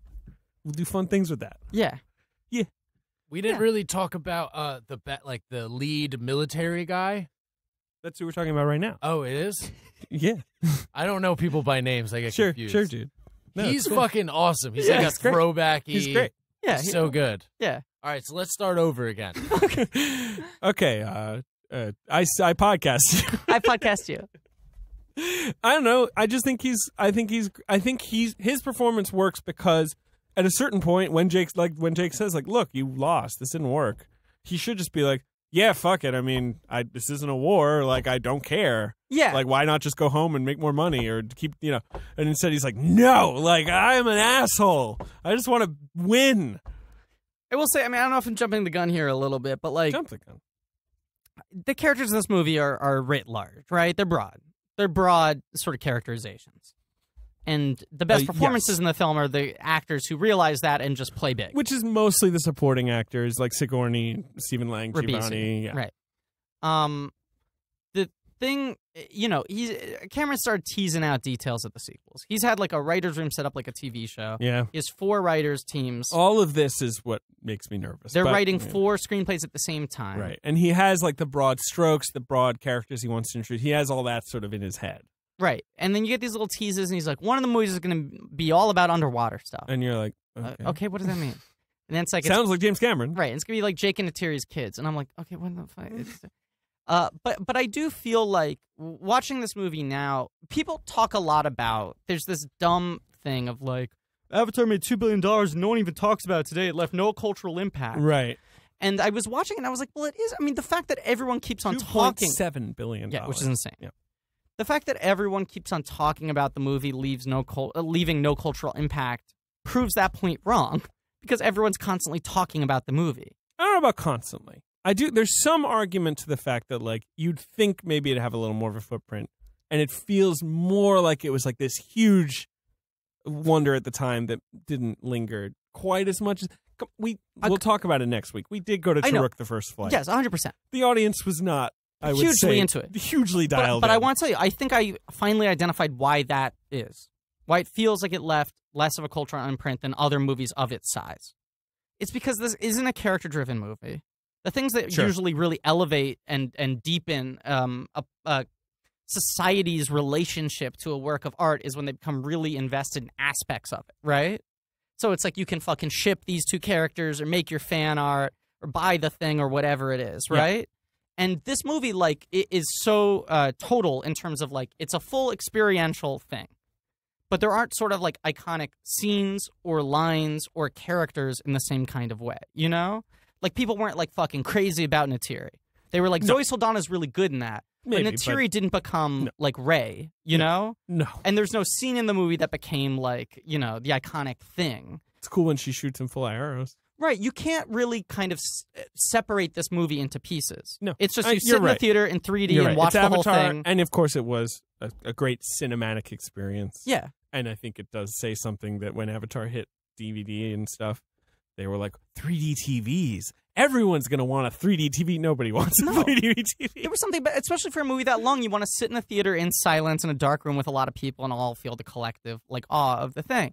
But I think you know, I, I think you compare Avatar and Force Awakens, and oh, you can argue which is better and which is worse or whatever. But like every, there's so many different aspects of Force Awakens that people really latched onto. You know, Mhm. that like they like carried with them, and there were things that you could fucking gif and meme, but things you could also write Force about. Awakens and had, but I mean, it has a lot going for it. Star Wars all of that. in general being one of, but Yeah. of course, it does feel a little more correctly geared towards like, yeah, and then we'll have game and we'll have the toys and we'll have you know, Well, and that's- trading cards. I'm and- not saying one's better or one's worse, and I kind of, in a way, respect the fact that Avatar is like so unconcerned with that, and it's just like Right. we're just making a They're movie. You're- different. You should sit here and watch this But also, they have totally different challenges. Avatar is trying to introduce you to something, and Force Awakens is trying to get you back into something, and you know, trying to erase some of the prequels, and you know. I think shit. a lot It's of big movies of this with. size today are sort of pre-packaging fandoms, which this movie doesn't concern itself with doing. Yeah. So it feels like Avatar hasn't left a cultural footprint because there's so much else we're having where it's like, well, this is made to fucking like make Cumberbatch fans happy, or you know, like hint at that thing that these this specific sect of fandom within this fandom of this one property, just like this one element Yeah. you know, or this one relationship or whatever it is. This movie is just like we're just telling a real straight middle of the road dad novel story. Yeah. The characters Lots are of all, Mohicans. Yeah, One and, of the first like novels. and most of the characters just serve a function. Like the characters are sort of like narrative cogs, you know, Mm-hmm. rather than characters you're going to really like love. Mm-hmm. Where I get excited about the idea of Avatar sequels is him just making further stories in this world, spanning sort of legacies and years and what have you, rather than like the continuing adventures of Jake and Neytiri. Yeah, I can't. Im- we're not going to get the continuing adventures of Jake and Neytiri, are we? because Maybe Avatar two. like I love Zoe I mean, if you're making five, Yeah. you know, you might have to give it an Avatar two. That's it. I love Zoe Saldana, and I think she's phenomenal in this movie. I'm not really invested in Neytiri that much. well, all right. So here, all right. So I'm going to cut you off Yeah, here. Just Please, let's go back into the film. Yeah, Well, we're almost done with the movie, Yeah. but just in terms of the sequel, obviously, I always say like, hey, if he wants to make Avatar sequels, he can make them, and I'm excited. Yeah. I will say, having seen Toruk the First Flight, I think the humans are a good thing to have in Avatar. I agree. and I do worry what'll happen if maybe they're not in the new ones. Now maybe they will be. I have no. I don't know. Like Yeah. I, you know, you hear Stephen Lang is going to be in them, so like who knows? And Sigourney Weaver. And Sigourney Weaver's always like, but she's always like, "I'm in it, baby," and they're like, "How?" And she's like, "I don't know. yeah. I'm going to be in it. James like, Cameron. don't you worry." She's like, Jim just tells me that no one stays dead in sci-fi. right. But that kind of scares me. I mean, I agree you still need a human presence in this movie and you need the tension in some sort of way between the two forces. But on the other hand, bringing back the two main characters who died in this movie makes the universe feel very small. And I think those are both really strong performances, but neither are like incredible characters where it's like This we got to is- bring but, back but, Obi you know, like that's sequel talk. We're going to see what they do. I know. right? But I do. I just feel like it's the human shit is almost underrated in this movie. You need it as the bound, and so But I- but for we have a- five Avatar movies, I want them to broaden the scope. I, I, want them to just go in different but, no, directions. but you saw Toruk. You saw it. And when it's like the Omaticaya clan and the other clan are arguing about how to make a dinosaur skeleton, you're like, oh, I, I'm. This is in too deep. This is like fan fiction. But I say this in the Toruk episode, and I'll say it again now. What's the difference between Toruk and the Avatar sequel? just to explain to you guys, Toruk is this fucking Cirque du Soleil show that we saw months ago and recorded an episode months ago, and we're finally going to release it next week. and So you're going to listen to that episode that. was recorded before we had recorded any of the James Cameron episodes. or before the election. yeah, any of it. Yeah, before Yeah. the election happened, Right. and we had to predict what happened on Yeah, it. Jesus Christ. Um, I the difference is that James Cameron didn't direct Toruk. No, I know. I, I knows how to know. I know. shit. I'm just saying, like, it just gave me a Tell me stories in the Avatar universe. I don't know. I mean, at this point, the full war, Tsu'tey dies, Eywa hears him, and then he gets into Just the, the scenes, the action's so crisp. great. It's so understandable, like what's going on. I think the creature design's really good. Creature design's all the great, monsters are cool. But like all the stuff of Jake, like jump, flying, jumping off, throwing a grenade, jumping back Yeah, on, like good. you know, you, blowing up the ship. You see what the ship does. Like yeah, that shit's good. Tsute- when Tsu'tey gets in the death scene. fight, The Oh, like ex- man, yeah. the physics of him swinging, Yeah. uh, like on the Toruk is so cool. yeah, It's so well done. that Tsu'tey's death I like a lot because it's like uh, we we've gotten very few scenes, sorry, of humans next to Na'vi, Mhm. and it's one of the few times where you see the scale, and it's like, oh, he just looks so clunky. I mean, it's like watching like Manute Bol play basketball, where it's Yeah, like to- his limbs are too long, like he doesn't yeah. know how to do shit. But it is they and they do a good job integrating the two of them. together, Really good know, job. Him and the him and the humans together. He gets into Uh, a robot knife fight with Korra. I would say, by the way, the, the extended edition adds that scene with Tsu'tey where you see him later. not a good scene. really bad, scene. Really bad and scene. really bad in the flow of the movie as well. A Like hundred really interrupts the flow of the movie. Yeah, so. because it happens right before. There's a scene in the extended edition where uh, Tsu'tey is dying, and he And- tells Jake that he has to take over the clan. Jake's like, I don't know, and he's like, also, please kill me. yeah, and you're just like, you know, we got all of that. Yeah. we we got the Jake's It to passing the torch, you know, thing. Ugh. It sucks. But yeah. The battle's just so good. I know it's like the best part of the movie, and we're almost skimming over it. But, it's- go watch describe it. it. That's the whole point. It's Go a visceral watch it. experience. It There's no really way for us to talk about it, and it's even hard to watch in 2D. You know, so God forbid the two of us try to talk about it here in our The two 1D friends. podcast. We're the 2D friends. We're the the Yeah, two the first dimension is audio. The second dimension is friendship. So they have a knife fight in the robot suit, and uh, I like that um, Neytiri is the one who kills Quaritch. That she's she's the one who saves the day. You know that most of the fight happens between Jake, and then he rips open the pod, so Jake is like fucking out of it, and he's Mhm. like suffocating, and then Neytiri. With the arrows, shoots three cool arrows into his chest, and It's Neytiri great, sa- kills great death bad. scene. It's cool that she gets to do it too. Yeah, that's what I'm saying. I like that. Yeah. Uh, and, Avatar. and then uh, you know they then they plug him, and we should say Grace dies, Grace and dies. they try to plug her into Eywa, and she says, "I'm with her," but then she dies. But I think she's she's in that tree. They bro. also make her some, some plant underwear. they do. She's naked, but they put plants over her naughty parts. I would say this is maybe those scenes where uh, they try and plug them into Yeah. Eywa tree, and all the avatars are. Around, I mean, sorry, all Yeah. the Na'vi are around, sweet like going, "Oh, no, no," Yeah. there's like glowing, pulsing ground. Feels like, a little too rookie. Well, I just think, yeah, that's like probably where some people are like, "Yo, fuck this shit," like, like this is stupid. I forgot my favorite line or line reading in the movie is the scene where uh, uh, Tsu'tey realizes that Neytiri slept with Jake Sully. And he puts her on blast in front of her parents, and then it just cuts to Sigourney's avatar, and she just goes, "Oh shit!" like, you fucking kidding me? Yeah. you had hair sex with the princess. I think it's great. I think Really? she's really funny. It is really. You're right. It's really funny. Yeah, so she's got she's got her plant brush. She dies. They try to connect her to the tree. They, Neytiri shoots Quaritch, and then when they're the- trying to connect her to her avatar. Right. They're trying to like download her brain into They're her like, avatar. I think work. the implication is that she's in the tree, but not in the avatar. I think is how she's So going to come back. they in the can next get her out I think she's going to be in the tree. you can get her out of that tree. I'm hoping she plays the tree in the next movie. That's my hope. Is that they don't put her back in a new that sounds like some Pocahontas shit. That's don't what I like. Grandmother Willow Tree, baby. Boy. But Just she'll have a around the face, riverbend. right? Like Yeah, they'll like make Grandmother her Willow face Tree. will come out of the tree. One of the Oh, that'd worst- be cool. Just one of the worst around Disney the films ever made. Riverbend. I like Pocahontas a lot. I think the first 30 minutes of Pocahontas are immaculate. I think it's a gorgeous looking movie for sure, and I do think the beginning is pretty strong. I think the but first 30 that's- minutes are narratively That's really a, strong. a fairly objectionable film. I think the first 30 minutes rule and the songs are good throughout. Oh no, I hate the songs. I think the songs are good.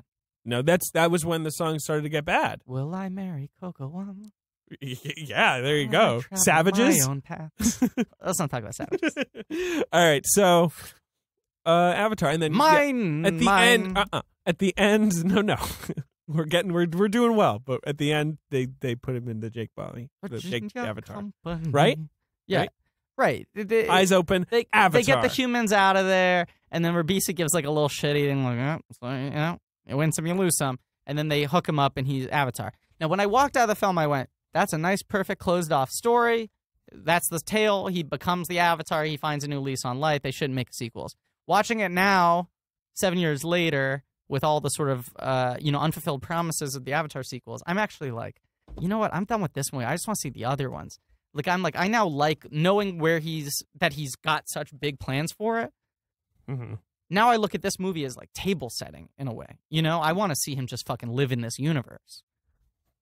Totally, Now that we know all the rules. I'm I'm into that too. I Yeah. mean, as long as the movie's good. Yeah, I just I don't saw want Toruk the first flight. to bring back all the human So- characters. I wanted to go in weird directions. I wanted to tell We'll see. tales. Who knows? I want a new planet. I want a new avatar. Well, Yeah. he's p- talked about that too. I that would you'll love- visit some of the other planets in the in the Prometheus system or whatever. I would love that so much. Um, so uh, that's the motion picture Avatar uh, merchandise spotlight. Oh, Yes. So this movie had uh, some of the worst selling merchandise for a blockbuster film in history. yeah, because like you say, nobody. no one cares about the characters, so they didn't do it. I, even the creatures and the vehicles didn't sell well, but it did produce what, in my opinion, is one of the funniest action figures ever made, which is uh, the Parker Selfridge action figure. Let me see. So you talk about a film where, I mean, even no one even wants to buy like a fucking Grace Augustine, right? That's not sticking in the craw. And the Avatars, even the Navids, didn't even do well. Parker Selfridge is just Giovanni Ribisi dressed up business casual, coming with a golf club Love it. because his first scene in the movie he plays This golf into a look mug. like it looks nothing like him. Oh There's my God. no appeal in that thing existing. Ugh. Even if you're like me and you love Giovanni Ribisi and Avatar, it's just a dude in slacks, a shirt, and a striped tie, real, and real- he's got a golf putter. all right. That's all it is. It's a great action figure, and by great I mean terrible. Okay, the film won three Oscars. Wait, wait. Also, No, slots. man, come on. Oh, and now they're making slot machines. They're expanding the brand with Toruk and slot machines are the two big. That's how you know a movie's a hit when you make a slot machine. Okay, Okay. that's a merchandise spotlight. It all sold really badly. You can probably buy it on eBay for like two cents. Film won three Oscars. Spotlight. Click. Turned off. Great. Can you name the three Oscars it won? Yes, it won uh, production design. Yes. Ro- Robert Stromberg is that his name? Uh, and Rick Carter. yeah. Right. Who won? Who? Uh, Art direction, they call it. Yeah. right. Uh, and then he also uh, directed Maleficent, which is a bad movie. Maybe you should- Stromberg did. Yeah. yes. Uh, pr- uh, art directors don't direct well. Often no. I mean, think, you're thinking of Bo Welch. Yeah, who was a great art director and made Hey, The Cat sometimes I don't know. Yeah, Carry Yeah. on. But yes, I Catherine know. Hardwicke was an art director too, I think. Anyway, I she think she turned out well. Is she? I can't remember. if I she's- believe she started as an art director. Anyway, uh, it also won a best cinematography, which is odd. Mauro Fiore. Well, that was, I think, the general Oscar voting pool being like, what a good looking movie. Yeah. But indeed, it's not the cinematography that's good. It's the animation and the visual effects and the you know the work they put into lighting. I mean, Yeah. there's some. I don't know. Especially watching it in 2D at home, the fully live action scenes look a little flat to me. Sometimes, But they look flat because you can tell they're composed to pop in 3D and they're very brightly No, and I mean, plainly lit because the images need to come through. right? I mean, I just saw Billy Lynn's halftime walk, and Yeah. it, it's got that problem. Yeah. yeah, Right. I saw it in 2D. Um, but this was the beginning of this was the first digital film to win best cinematography. Mhm. And then after this, four out of the five next best cinematography winners are 3D movies. They're mostly CGI. Most of those winners are really bad. Winners. It becomes Hugo, Life of Pi, and Gravity. and didn't. Yeah, oh, yeah, Life of Pi. Yeah, Right. Four out of the five are those. So it's a very weird precedent that's now set where they're digital 3D movies that are mostly computer it's generated. because stupid Oscar voters They're like, "Oh, it looks best cinematography means yeah. What's the movie that looked good? right. Because there's no 3D award. I anyway, mean, the only dumb. good cinematography nom- uh, win that they've given out recently was Inception in 2010, which is actually kind of a surprising win. Yeah. But I mean, those two Chivo wins, eh, I, mean, I don't know. I love Chivo. That's I mean, Chivo's good. I don't know. I don't know if Birdman. Whatever. It doesn't matter. my boy Wally Pfister though, repping it hard. Love Wally. So box office though. Yeah. First, we'll play the game. Well, actually, no. First, let me just give you. Yeah. Just it's just to recount. You know, It's it was incredible. opens narrative. to 77. Yeah. Next weekend, 75. 1.8 drop. Okay. Next weekend, 68. 50, 42, 54. And then it That's Martin Luther. King weekend. 54. that's right. So there's a Luther bump for a four day weekend. Yeah. And then it starts to go down, you know, 34, 31, 22, Okay, 23. but, but, then back thir- oh, 31 is week what? 31 is week 7. Yeah, that's insane. Yeah, it is pretty insane. That is insane. I mean, at that point, the movie had made. And also, we should note these are weekends I'm giving you. The other thing was every day the movie was making like tons of money. Huge weekday numbers. Not only just the first couple of weeks during the holidays, but even after that. It was making like $20 million a day Yeah. on a weekday. My brother and my It- dad. It, made like, by week seven, it's made $600 million, which is pretty much number one. my brother and my dad when um uh like the uh, Barry Bonds not Barry the Sammy Sosa Mark McGwire thing was going on and it was like oh home run record it's coming and every day in the newspaper there'd be like another one another one they're getting closer they're getting closer who's gonna win right I remember that like excitement over that was like oh man I wish there was a thing like this that I gave a shit about Right. my, the way my father and I we were so invested in tracking this movie on a week to week basis being like it's gonna do it Right. Right. because it had been like 12 years since Titanic, and it was like, is it gonna is it gonna crap out? Like, it, all it needs is one big drop off weekend, and it won't catch Titanic. Mhm. But it never had the big drop. Yeah. Right. The drops were always so small that it, small it had the legs to do it, and it beat Titanic by like 150 million dollars domestic. Um, okay, so the second weekend was the weekend where it really proved its staying power, and that was the biggest weekend in box office history. There's never been a higher grossing weekend. That's Christmas weekend, and Sherlock Holmes and Alvin the Chipmunks: The Squeakquel oh, open. okay. All right. So I remember that. I'm trying to reverse engineer from there what opens. We're talking. I know, the December, first weekend. Okay, December figure it out. eighteenth, Okay. two thousand and nine. Avatar opens to seventy-seven million dollars in thirty-four hundred screens. Now, a good opening for an original film, but at the time they were like, They were like, well, yeah. Again, it was sort of the thing of, well, Not if this gonna make back its holds budget, yeah. Titanic style, then sure, it's going to do great. but what are the chances of something holding Titanic style? Some number number two was a Disney animated film. Uh, Princess and the Frog? Yes, Cool. Uh, which is okay. I think it's fine. It's fine. I don't really care about Me neither.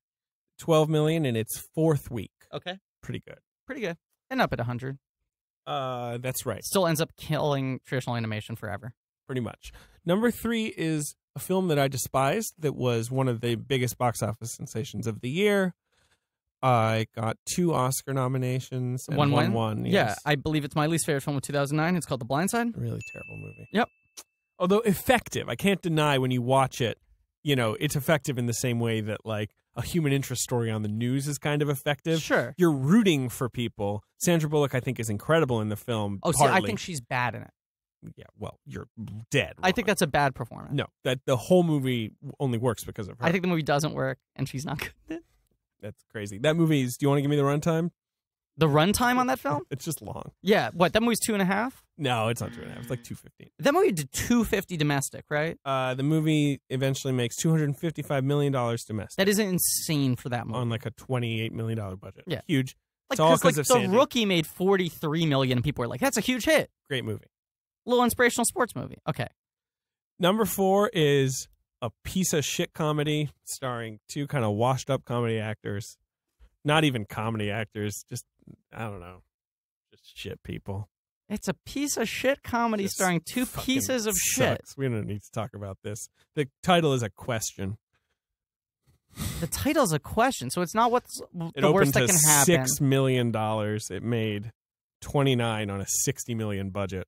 Whew. Is this this isn't its opening weekend, is it? This is its opening week. This is its opening weekend. I have no idea why they were opening. I guess it was counter programming to Avatar because it's like a rom com, kind of. It's a rom. But it also it was one of those movies that came out right after the recession that was about how evil rich people were.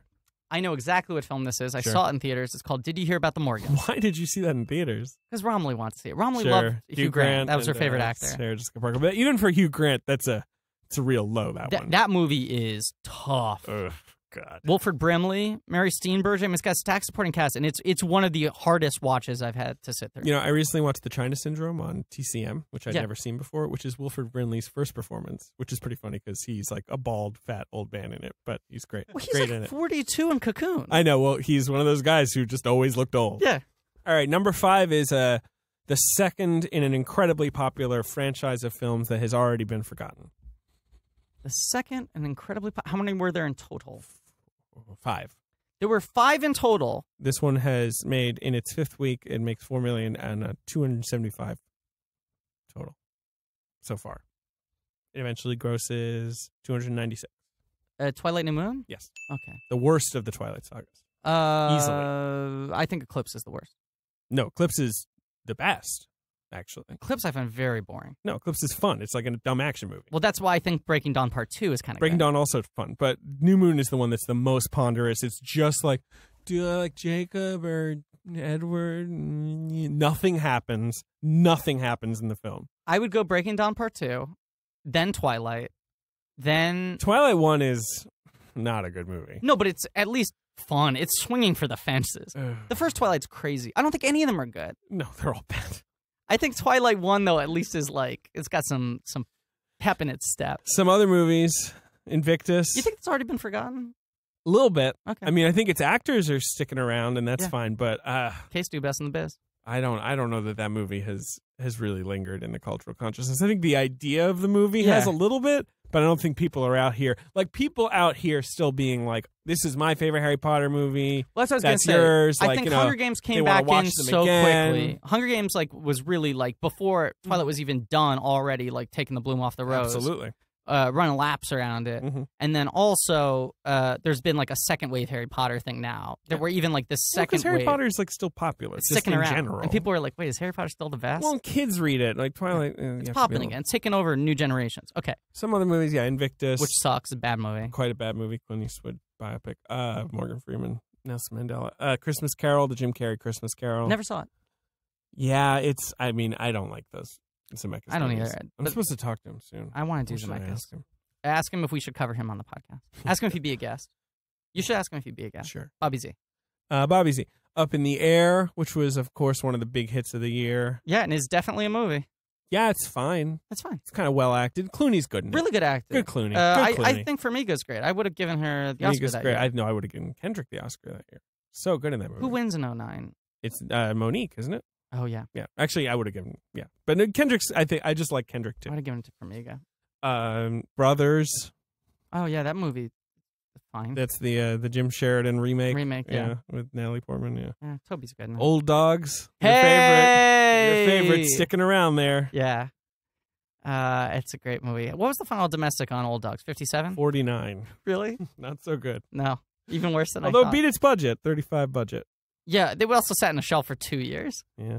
Uh yeah, 2012. Kind of a weird weird year because like a lot of good movies, not a lot of good hit movies. No. Although there is Star Trek, which is great. District Nine was a hit. Up. I don't like District 9. I don't love Up. Although Up's okay.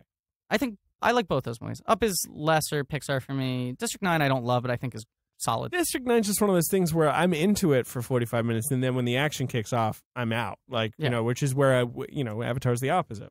Uh, Transformers: Revenge of the Fallen is a nightmare.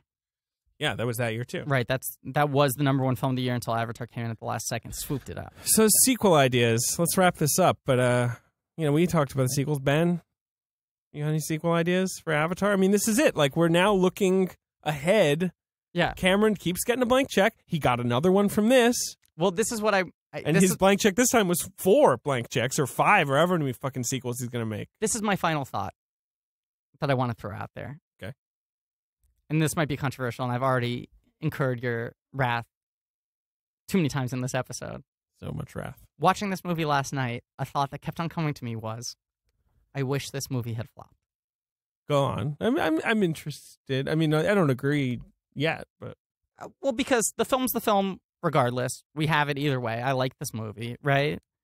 But I would be more interested to see what would have happened to James Cameron if this movie had, if not even completely flopped, but disappointed, hmm where his next steps would be. Yeah, I mean that's interesting virtual fiction or whatever. I don't know. I think this film plays to his strengths, but it's also kind of safe.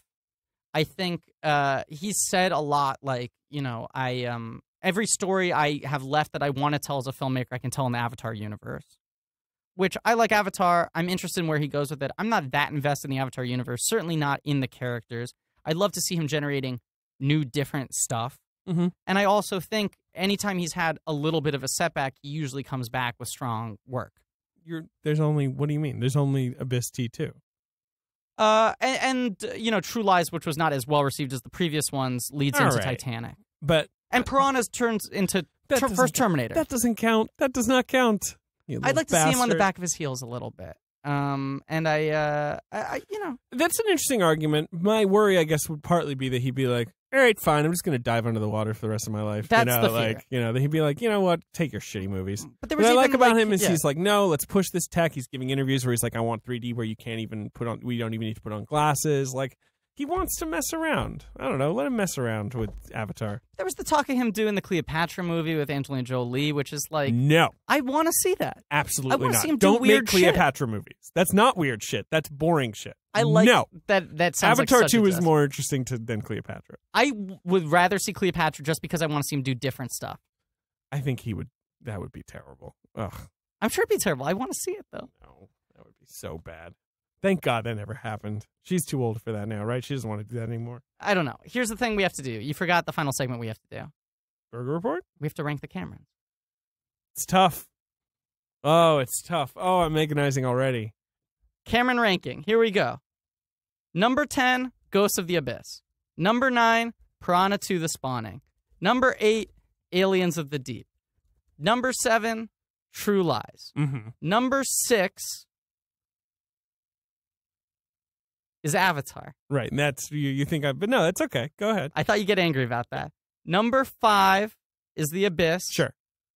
Number 4 is Titanic. Uh huh. Number three is The Terminator. Number two is Terminator 2 Judgment Day. Number one is Aliens. Okay. That's my Cameron 10. Right. Whereas for me, it'd be ten Piranha, nine Aliens of the Deep, eight Ghost of the Abyss, seven True Lies, six um The Abyss, five Avatar, Talking Four. Tar. Talking Tar, four The Terminator, Okay. three uh Terminator 2, Wow. two Aliens, one Titanic. Wow. Yeah. Wow. Interesting list. Interesting list. And that's Cameron. James Cameron. And we Aliens might be number one. I don't know. It's tough. It's tough at the top. Aliens is my number one. Well, A good filmmaker. We've had a good time with him. Uh, we've had a great time with him. He's been tough though. He's been tough. A lot to of good talk movies. A lot of good movies. Like that's the problem with Yeah. the good movie guys. Well, let's announce our next miniseries. I think we got to do it right now. Next week, we're going to have a Ben's Choice. Yeah, baby. Well, no, Toruk. No, oh, no, next right. week I'm sorry. Next week, bonus episode Toruk the First Flight recorded before any of our Cameron episodes. Then after that, Ben's Choice, we're doing it, long promised. Man Who Knew Too Little. Bill Murray's The Man Who Knew Too Little. It's crazy. Ah, I'm so excited. Ugh. And then for, we're excited to exclusively announce our next miniseries. Perhaps the biggest blank check. We thought over it. Maybe this is the biggest blank check anyone's ever I gotten in think so. history. I think so. a filmmaker who already was decades into a career of just eh, some of the biggest hits in history. Uh, a lot of Oscar nominations, but never a win. He finally wins Best Picture, and after that, takes a four-year break. At which point, he founds his own studio, Pretty cool. not production company, an entire studio. That's what they call a baller move. and like he, that? in this baller move, loved it. You're getting really griffy now. That is scary. Yeah. Uh, he uh, founded an entire studio to bankroll his movies, as if he didn't already have enough powers. If he wasn't already an Oscar winner. He didn't have a big enough dick as it was. he put a bicycle pump in that dick, made it even bigger. Of course, we're talking about our first ever conditional miniseries, in which we're only covering a section of someone's career, but it's a long section. So still long. Still a long section. Spielberg, the DreamWorks years. Steven Spielberg. Are we just gonna call it that? Maybe it's because otherwise it gets hard with the puns, making it clear that it's only about that but also, period. his movies do not lend themselves to puns. not at all. his we'll, titles. We'll talk over the title, but it's it will be uh, Spielberg starting in 1997 with the With his doubleheader, most beloved film. The Lost World Jurassic Park in Amistad. and it will be going to 2016's The BFG. So it's 19 years of Spielberg, 17 films, I believe. 17 oh my films. god. It's It's 16 going to or be our 17. longest miniseries. It's a bit of a risk, It's a bit of a risk. but there's a lot of variety. we got a lot of ups and downs. We're gonna have a lot of good guests, and we're gonna be banking up episodes months in advance because I have to get ahead of filming on the tech. That's partly why we're doing it, guys. Okay, so get ready for Spielberg, the DreamWorks years, or whatever the fuck we call it. But before that, get ready for The Man Who Knew Too Little. But before that, get ready for Toruk: The First Flight. Padding it out. And before that, I gotta do laundry. Yeah. yeah. I, I, think. I'm getting close to too. I gotta do a laundry load today. I gotta All wash my right. Watto costume. Oh, I'm gonna mention that quickly. I'm just gonna plug that very quickly. Okay. Uh, I I'm now uh, emoji. I the uh, George Lucas talk show, which we talked about a lot in the past, the great Connor Ratliff. Uh, had him on the show. yes, uh, hosts a talk show as uh, George Lucas live at the UCB East Theater the first Friday of every month at midnight. Mhm. And I am, uh, for the foreseeable future, going to be his sidekick, his his Andy Richter, his Ed McMahon as Watto, who longtime listeners of the podcast will know is uh, my worst bit that I commit to the hardest It's a great my most offensive bit. Uh, so yeah, I'm I am uh, playing Watto first Friday of every month. Uh, if you want to see it at any point in time, you, this is an open-ended plug. Just come check him out, guys. All Come right. check it out. I gotta wash Great my Watto suit. end the Cameron miniseries. Gotta wash my Watto. But we suit. do have the bonus episode next week, so Yeah, true. that's fun. All right. Okay. All right. All Maybe. right. Uh, thanks for later. listening. Please rate, review, subscribe, all that nonsense. And as always, da-na-na, Da-na-na. da-na-na. Oh, yeah,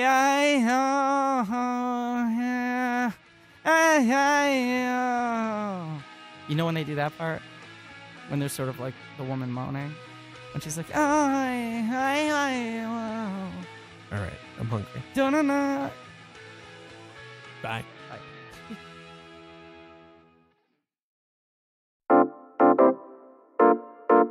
This has been a UCB comedy production. Check out our other shows on the UCB Comedy Podcast Network.